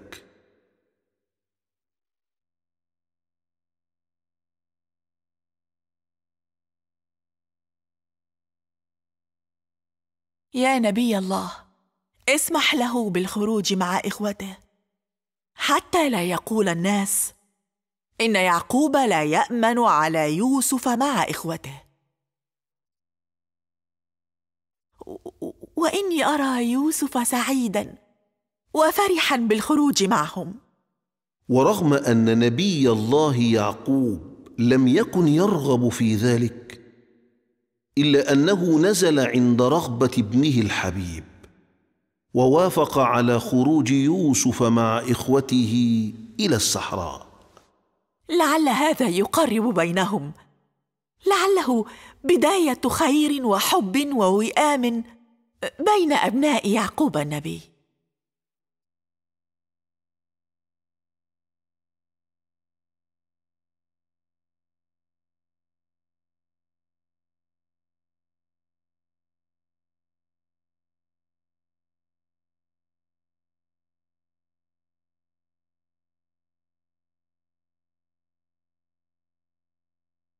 لقد وقع يوسف أخيرا. نعم أصبح فريسة سهلة لنا في الصحراء. نفعل معه ما نريد. سيخلو لنا وجه أبينا ولن يكون يوسف سيدا علينا بعد الآن. ماذا تريدون فعله بالضبط؟ علينا أن نعرف من الآن ما سنفعله مع يوسف. لا شيء. كل ما سنفعله هو إبعاد يوسف عن أبينا يعقوب. نعم يجب إبعاده عن أبينا. المهم هو الخلاص من يوسف وإبعاده عن حياتنا. أتمنى ألا تكون نية القتل موجودة يا يهوذا. لا أعتقد أن الأمر سيصل إلى القتل. لا تنشغلوا بما سيجري في الصحراء فغدا كل شيء سيظهر ويتضح. جهزي معي الطعام والشراب لأخيك يا دينا. كم أنا قلقة يا أمي ليا. أخاف على يوسف الصغير من وحشة الصحراء. لن يكون إلا ما كتبه الله.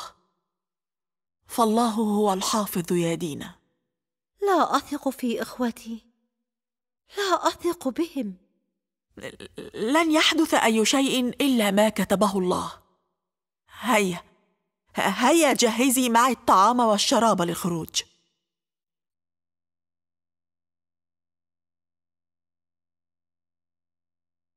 ووقف يعقوب يودع أبناءه وهو يخشى على يوسف من هذا الخروج. اعادك الله بكل خير يا يوسف. أنت وإخوتك. إني أخاف عليك يا يوسف. ولكني أثق أن الله لن يضيعك.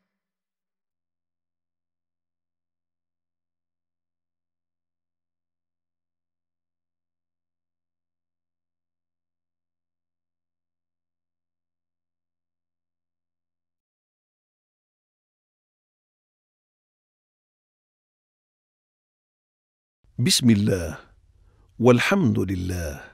والصلاة والسلام على سيدنا محمد بن عبد الله الذي وزع الجمال بينه وبين يوسف عليه السلام. خرج يوسف مع إخوته بعد أن ألبسه يعقوب قميصا ورثه عن أبيه إسحاق النبي. هذه هي البئر التي تنتظر يوسف الصديق. لم يكن يعرف أن له مع هذه البئر شأنا عظيما. وأنها نقطة تحول كبيرة في حياته. فلننظر ماذا يفعل إخوة يوسف معه في هذا اليوم المشهود.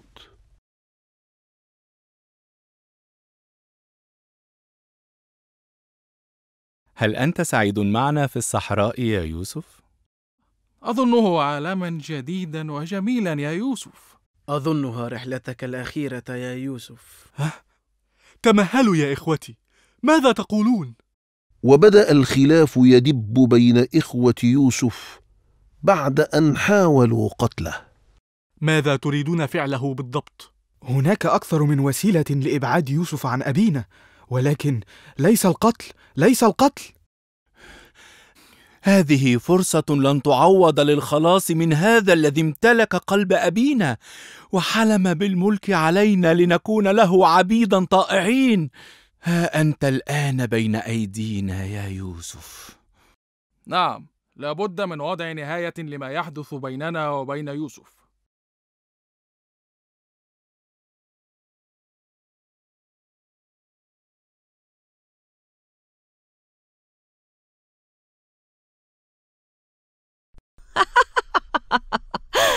لعلها نهاية يوسف اليوم حتى لا يصير أبناؤنا عبيدا وهو سيد عليهم. لقد امتلأ القلب غلا وحقدا ولا بد له أن يستريح يا يوسف. ترى يا بيلها ما الطريقة التي سيتخلص بها إخوة يوسف منه؟ لا تهمنا الطريقة المهم هو نهاية هذا الموقف لصالحنا. لعل ليئة الآن تتضرع لكي يعود يوسف سالما من الصحراء. هو يوم فاصل في حياتنا وفي معركتنا مع يوسف بن يعقوب. من يأتينا بالخبر؟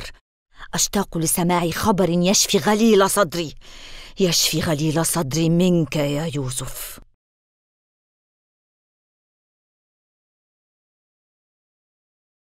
لك الله يا يوسف وقعت فريسة في يد إخوتك الحاسدين. ماذا تفعل وأنت الصبي الضعيف اليتيم؟ ألهذا الحد بلغ بكم الغيظ أن تفعلوا كل هذا بأخيكم؟ كيف سنتخلص من يوسف؟ قل ما شئت لكن القتل لا يمكن أن يحدث.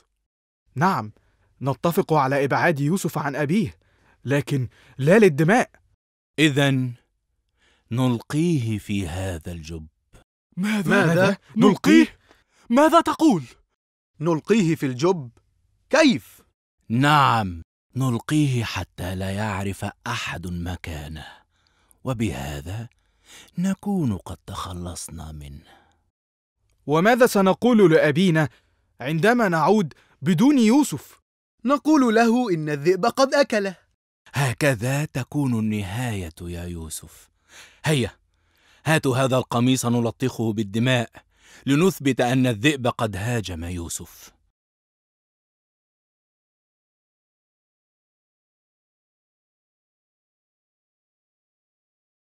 القلق على يوسف يقتلني يا أمي.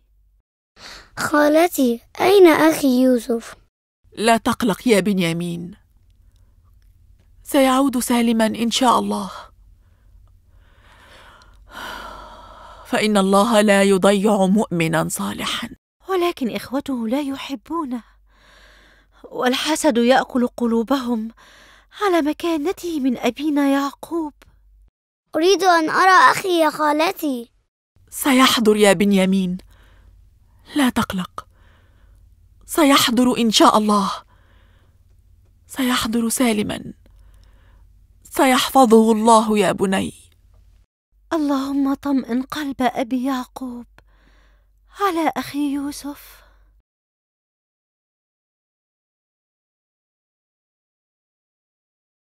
ما حال قلبك يا يعقوب الأب؟ ماذا يدور بخلدك يا أبا يوسف؟ ما الذي تخشاه يا يعقوب النبي؟ أأنت مطمئن لعودة يوسف سالما؟ أم أن الشك يساورك في هذا؟ ما بال قلبك ينتفض خوفا ويتوجس ريبة من أبنائك يا يعقوب؟ ما زلت تدعو الله أن يعود يوسف دون أن يمسه ضرر أو يناله مكروه أدعو يا يعقوب أدعو ليوسف لعل الله يجعل له مخرجا مما سيحدث له. وتعاون إخوة يوسف على الإثم والعدوان وألقوا بيوسف الصديق في البئر ألقوه دون أي شعور بالاسى أو الحزن فأين كان ضميرهم آنذاك؟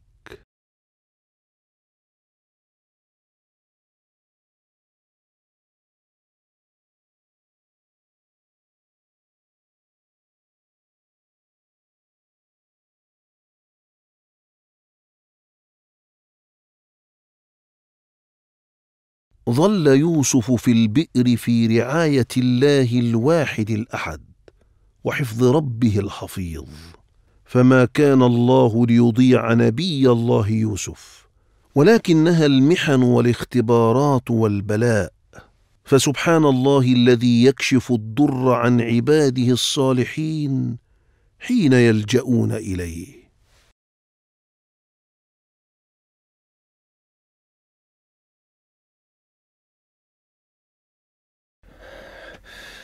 يا تقي متى سيأتي يوسف؟ دعنا ننتظر يا زاهد. تاخروا علينا كثيرا يا تقي.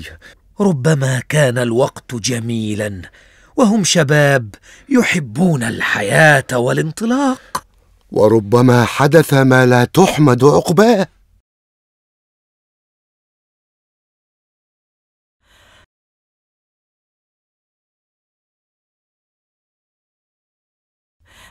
لقد تأخر يوسف يا دينا وأنا أشعر بالخوف عليه. لم أكن أرغب في خروجه مع إخوته. وأنا لم أكن أرغب ولكنني نزلت على رغبة يوسف وإلحاحه الشديد. ما كان لنا أن نستجيب لإصرار يوسف على هذا ابدا. أريد الطعام يا أمي ليئة. سأجهز لك العشاء يا بنيامين. هيا. هيا يا حبيبي هيا أين أنت يا يوسف؟ طال غيابك عني فماذا تريد أن تفعل بقلب أختك؟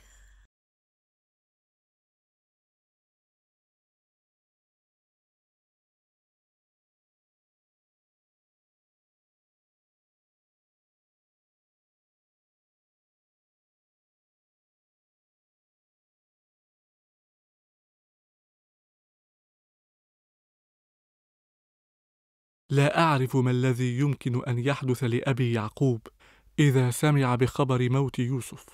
يوسف أكله الذئب. يوسف أكله الذئب. كرر معي هذا كي لا تخطئ أمام أبيك وقومك. ليس هناك أي احتمال للخطأ. قولنا واحد لا يتفرق. وإلا هلكنا جميعا. ها هو القميص. سنأتي عليه بدم. حتى يتأكد أبونا يعقوب من مقتل يوسف على يد الذئب. المهم أن يوسف قد انتهى إلى الأبد. الموضوع لن يمر بهذه السهولة على أبينا ولا على خالته ليئة. صدقوني. لقد قضي الأمر يا رجال قضي الأمر. علينا الآن أن نواجه والدنا وقومنا بكل جرأة وشجاعة. لا أدري كيف حدث كل هذا كأنه كابوس مظلم. لعله حلم من أحلام يوسف.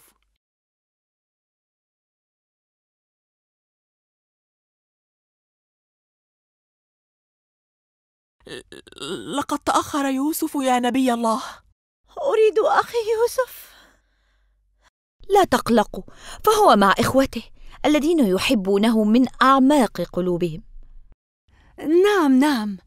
لقد كان اليوم شاقا ما بين لعب ولهو وعمل فهم بالتأكيد في غاية السعادة هيا أجهشوا بالبكاء هيا وسألهم يعقوب أين يوسف؟ أين يوسف؟ أين أخي يوسف؟ يوسف أخي الحبيب أكله الذئب.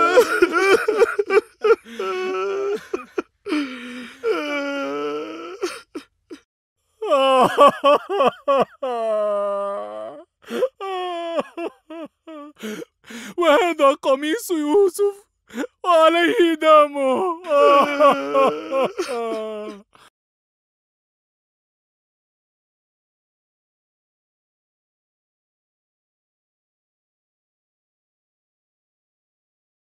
بسم الله والحمد لله والصلاة والسلام على أشرف الخلق سيدنا محمد بن عبد الله. هنا يجلس يوسف وحيدا في هذه البئر.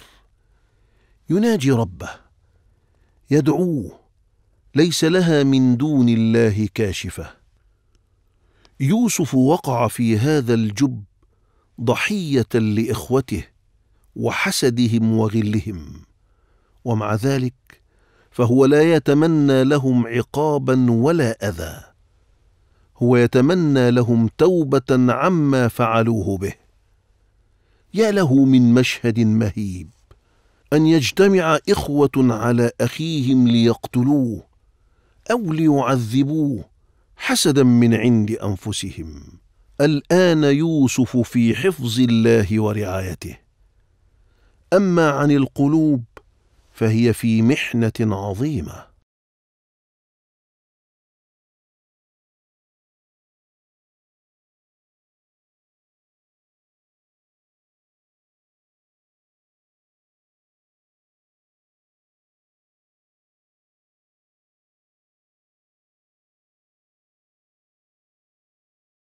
واستقبل يعقوب خبر مقتل يوسف. بالحزن الشديد أين ابن أختي يوسف؟ أين ابن راحيل؟ كيف أكله الذئب؟ وأين كنتم؟ يا يهوذا ماذا جرى ليوسف؟ كيف ضاع منكم؟ كيف أكله الذئب؟ وأين كنتم؟ ذهبنا لنتسابق وتركنا يوسف عند متاعنا. فأكله الذئب.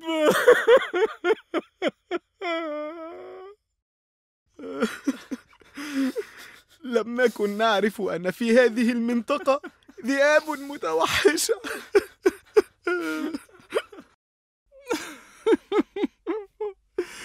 يا حبيبي يا يوسف ما ذنبك يا أخي؟ هذا هو قميص يوسف.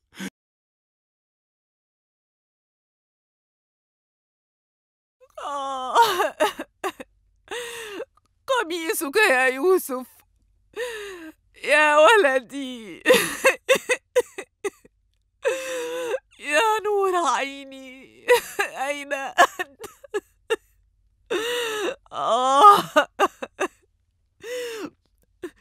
آه يا يوسف. ذهبت وتركت الحزن في القلوب ساكن. آه يا يوسف. آه. ليتك ما ذهبت يا يوسف. ليتك ما ذهبت. من منا يعلم الغيب؟ هو قضاء الله وقدره.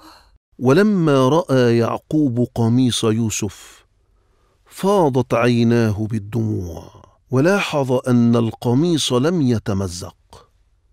هنا قال يعقوب تالله ما رأيت ذئبا أحلم من هذا أكل ابني ولم يشق قميصه.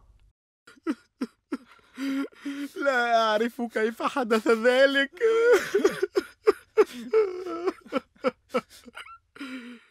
لقد كنا نتسابق ونلهو وعندما عدنا لم نجد أي أثر ليوسف. فقلنا إن الذئب قد أكله أكله؟ كيف؟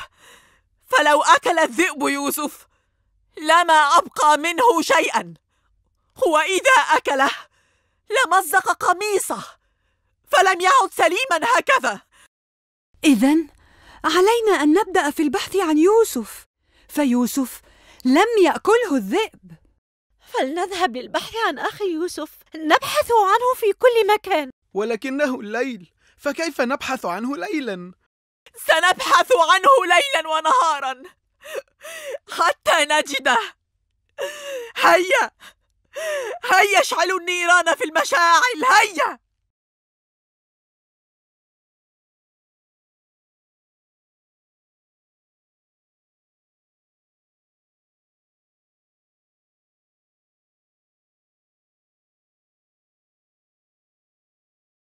هيا! هيا يا نبي الله يعقوب! هيا نبحث عن يوسف الصديق!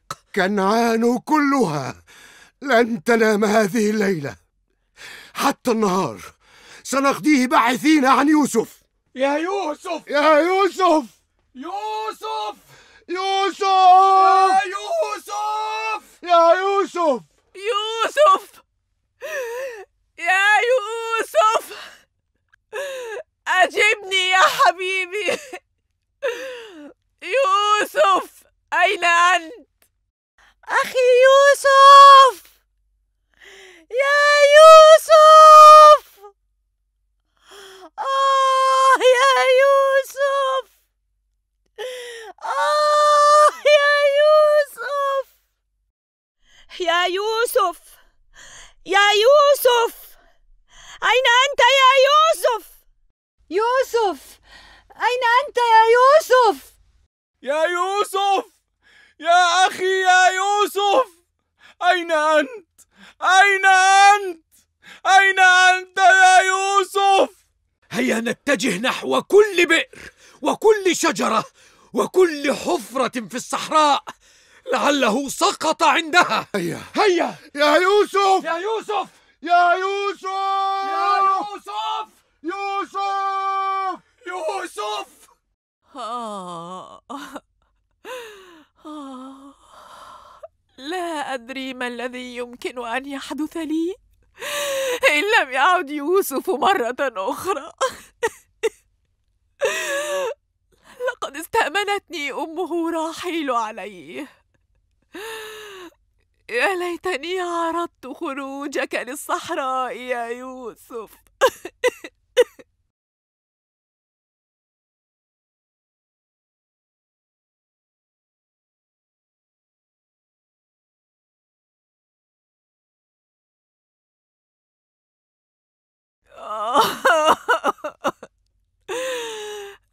ضاع يوسف. ضاع يوسف. سامحيني يا شقيقتي. سامحيني. لقد فرطت في تلك الأمانة ولم أحافظ عليها.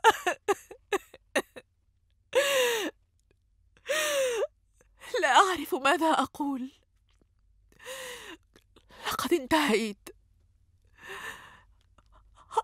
أشعر أنه ليس للحياة مذاق بعدك يا يوسف آه يا حبيبي آه يا ولدي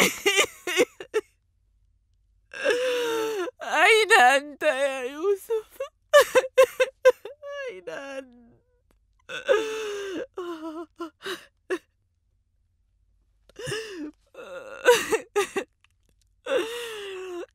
يا يوسف. يا قلب خالتك. اللهم افرغ علينا صبرا يا رب العالمين. لا أطيق الحياة بدونك يا يوسف. لا أطيق الحياة بدونك يا حبيبي. يا الله. يا الله.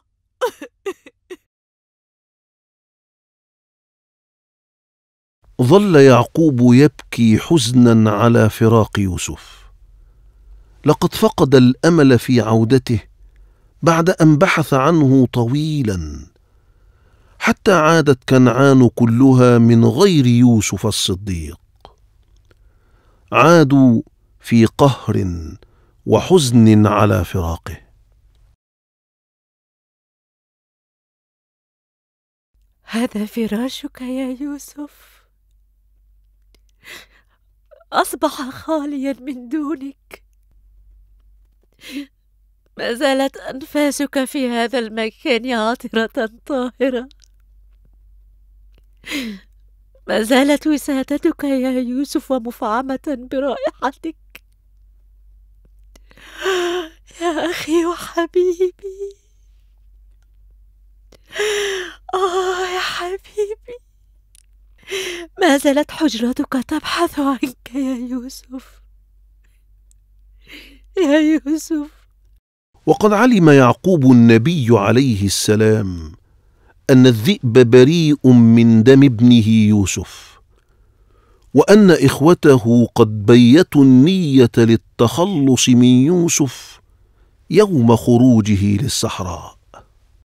أشعر أن أخي يوسف لم يمت وأنه على قيد الحياة.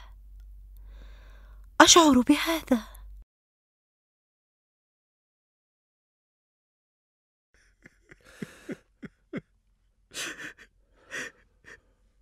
ما ذنب هذا الصبي المسكين في أن يضيعه إخوته؟ فلم يفعل أي شيء غير أنه كان صالحا تقيا. الحقد الحقد يا تقي. كل هذا سببه الحقد قتلوا أخاهم أو ألقوه للذئب. فالنتيجة واحدة.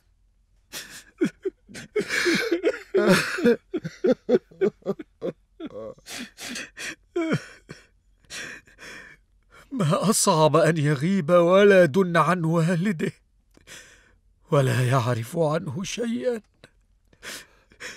إنها محنة واختبار إلهي وبلاء عظيم.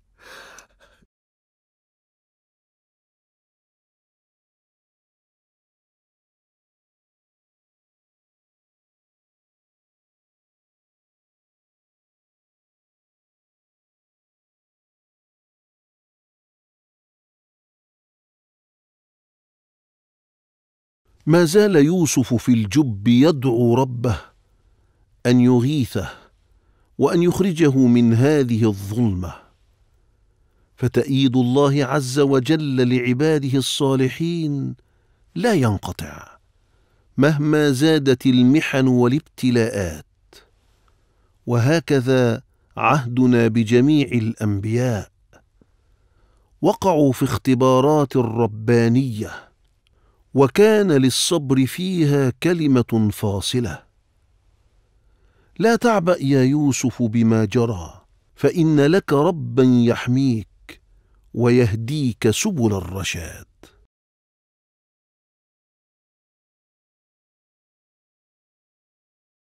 هيا يا رجال!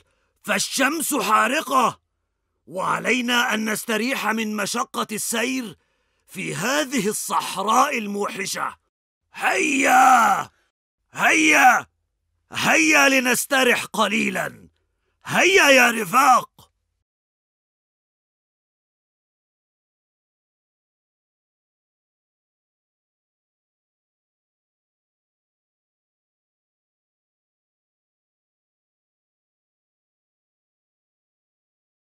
أسمع صوتا من هذا البئر يستغيث.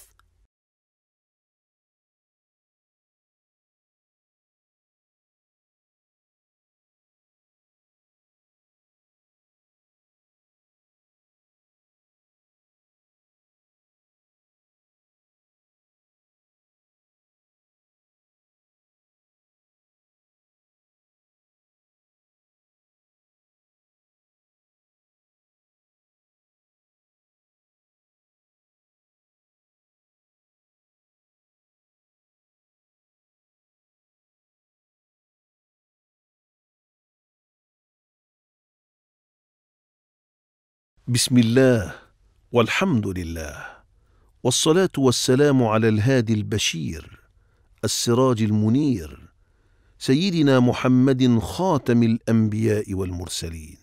جاءت القافلة التي ستنقذ يوسف من الموت وحيدا في الجب. إن قصة سيدنا يوسف الصديق هي من أعظم قصص الأنبياء في معرفة معية الله لخلقه الصالحين. قال الله تعالى ان الله يدافع عن الذين امنوا. صدق الله العظيم.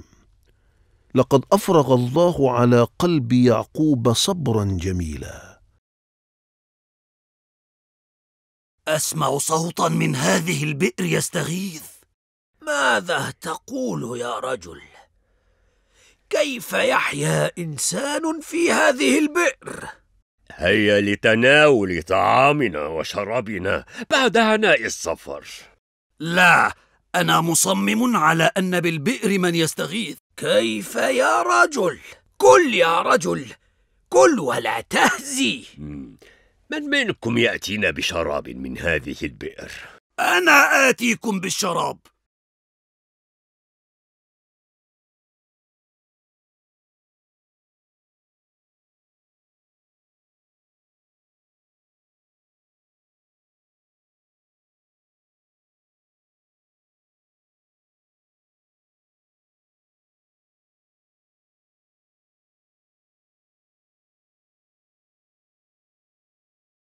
ما هذا؟ ما هذا؟ أرأيتم؟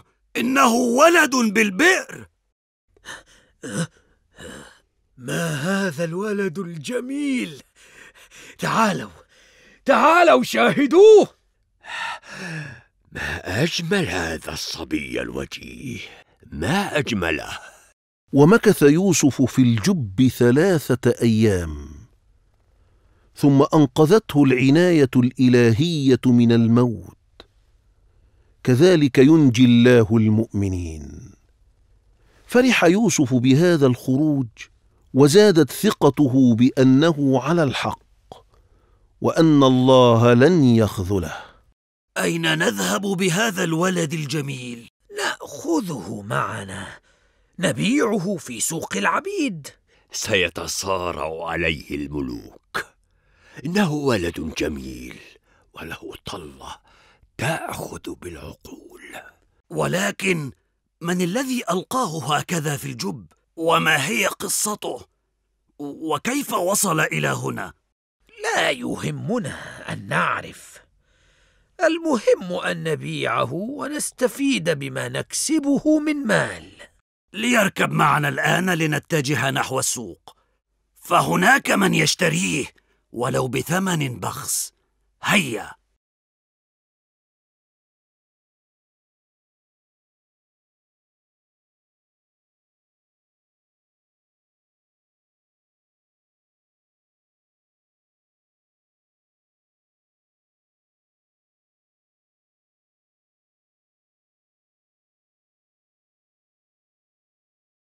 ظل يعقوب حزينا لفراق ولده.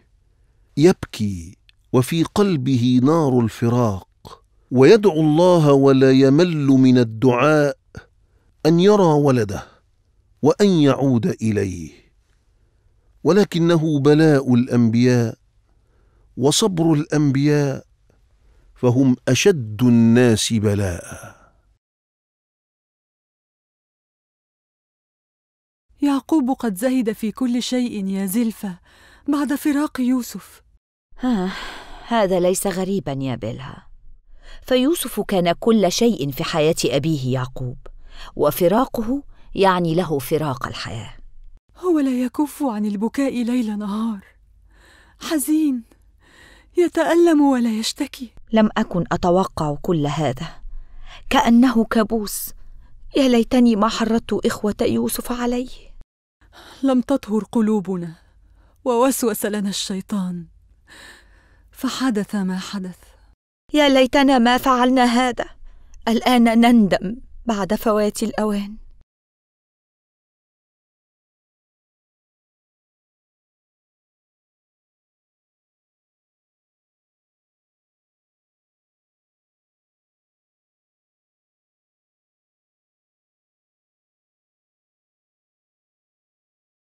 يوسف بين نار فراق أبيه يعقوب وبين فرحة النجاة من الموت في الجب.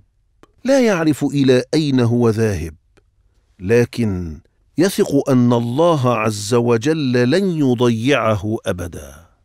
من أي مكان أتى هذا الصبي يا ترى؟ يبدو أنه من كنعان أو قريبا من هذا ولكنه لم يقل شيئا. لم أشهد مثل هذا الموقف في حياتي. لم أتوقع أن نخرج من الجب صبيا. إنه لأمر عجيب. أكثر ما يلفت نظري في هذا الصبي اتزانه وعقلانيته ونضجه الواضح. نعم فلم يخف ولم يرتبك بالعكس. كأنه رجل كبير يعرف ما له وما عليه. ولكن الحزن يبدو عليه ولا يفارقه. فلم يبتسم ولم يضحك. فهو في حالة ألم لا أعرف سببها ما علينا؟ كلها ساعات ونبيعه ونقبض ثمنه. كم كنت أتمنى أن يكون لي ولد مثل هذا الصبي؟ فهو يسبق سنه وأقرانه في كل شيء.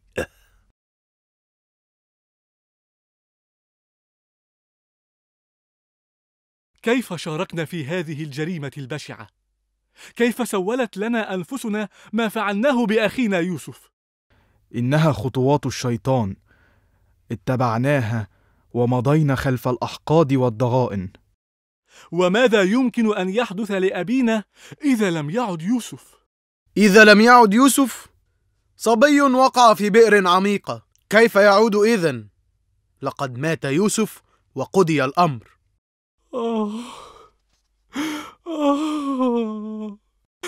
كيف طاوعتني نفسي أن أفعل هذا يا يوسف أنا من شارك في قتلك يا أخي وحبيبي لن يفيد الآن هذا البكاء لقد ألقيناه بأيدينا هذه ماذا بكما؟ لماذا تبكيان؟ ماذا تريد أيها القاتل؟ ابتعد عني ابتعد ألم تشارك أنت أيضا في قتل يوسف؟ ألست من اقتسم معنا هذه الجريمة وكان لك حصة ونصيب منها؟ لست وحدي من قتله كلنا شاركنا في قتل يوسف. كف عن هذا يا يهوذا أبونا يعقوب فقد يوسف ويموت في كل لحظة من الحزن عليه. هيا هيا بنا لنرعى الأغنام حتى لا أبلغ أباكم أنكم مقصرون في عملكم هذا.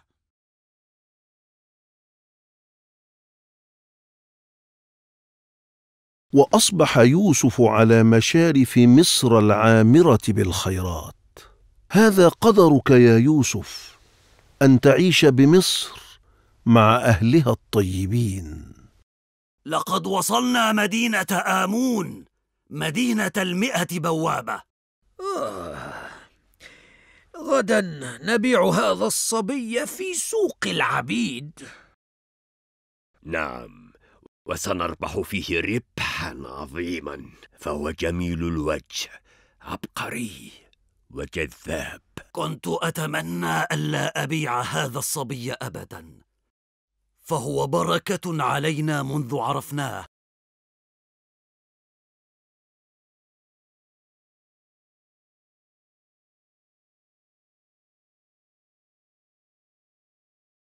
مولاي عزيز مصر. مم. ماذا بك يا رودامون؟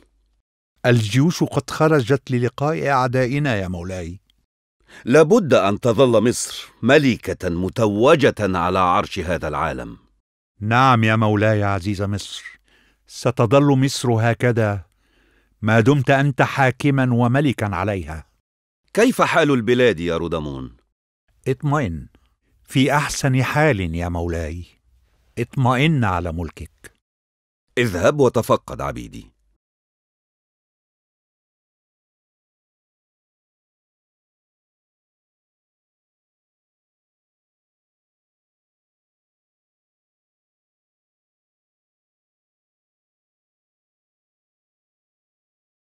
ما أجملك يا مولاتي؟ فأنت ملكة هذه الأرض كلها. فلا توجد امرأة في هذه الدنيا تصل إلى مستوى أنوثتك وجمالك ورقتك. أشكرك يا يشوره فأنت نعم الخادمة المطيعة ولكن قلب عزيز مصر أغار عليه أخاف عليه. فإن النساء فتنة للرجال. ولكنك الأجمل والأحلى والأرقى. أنت الملكة المتوجة بين نساء كل هذا الكون. لا توجد امرأة هي الأجمل على الإطلاق ولا حتى أنا. زوجة عزيز مصر.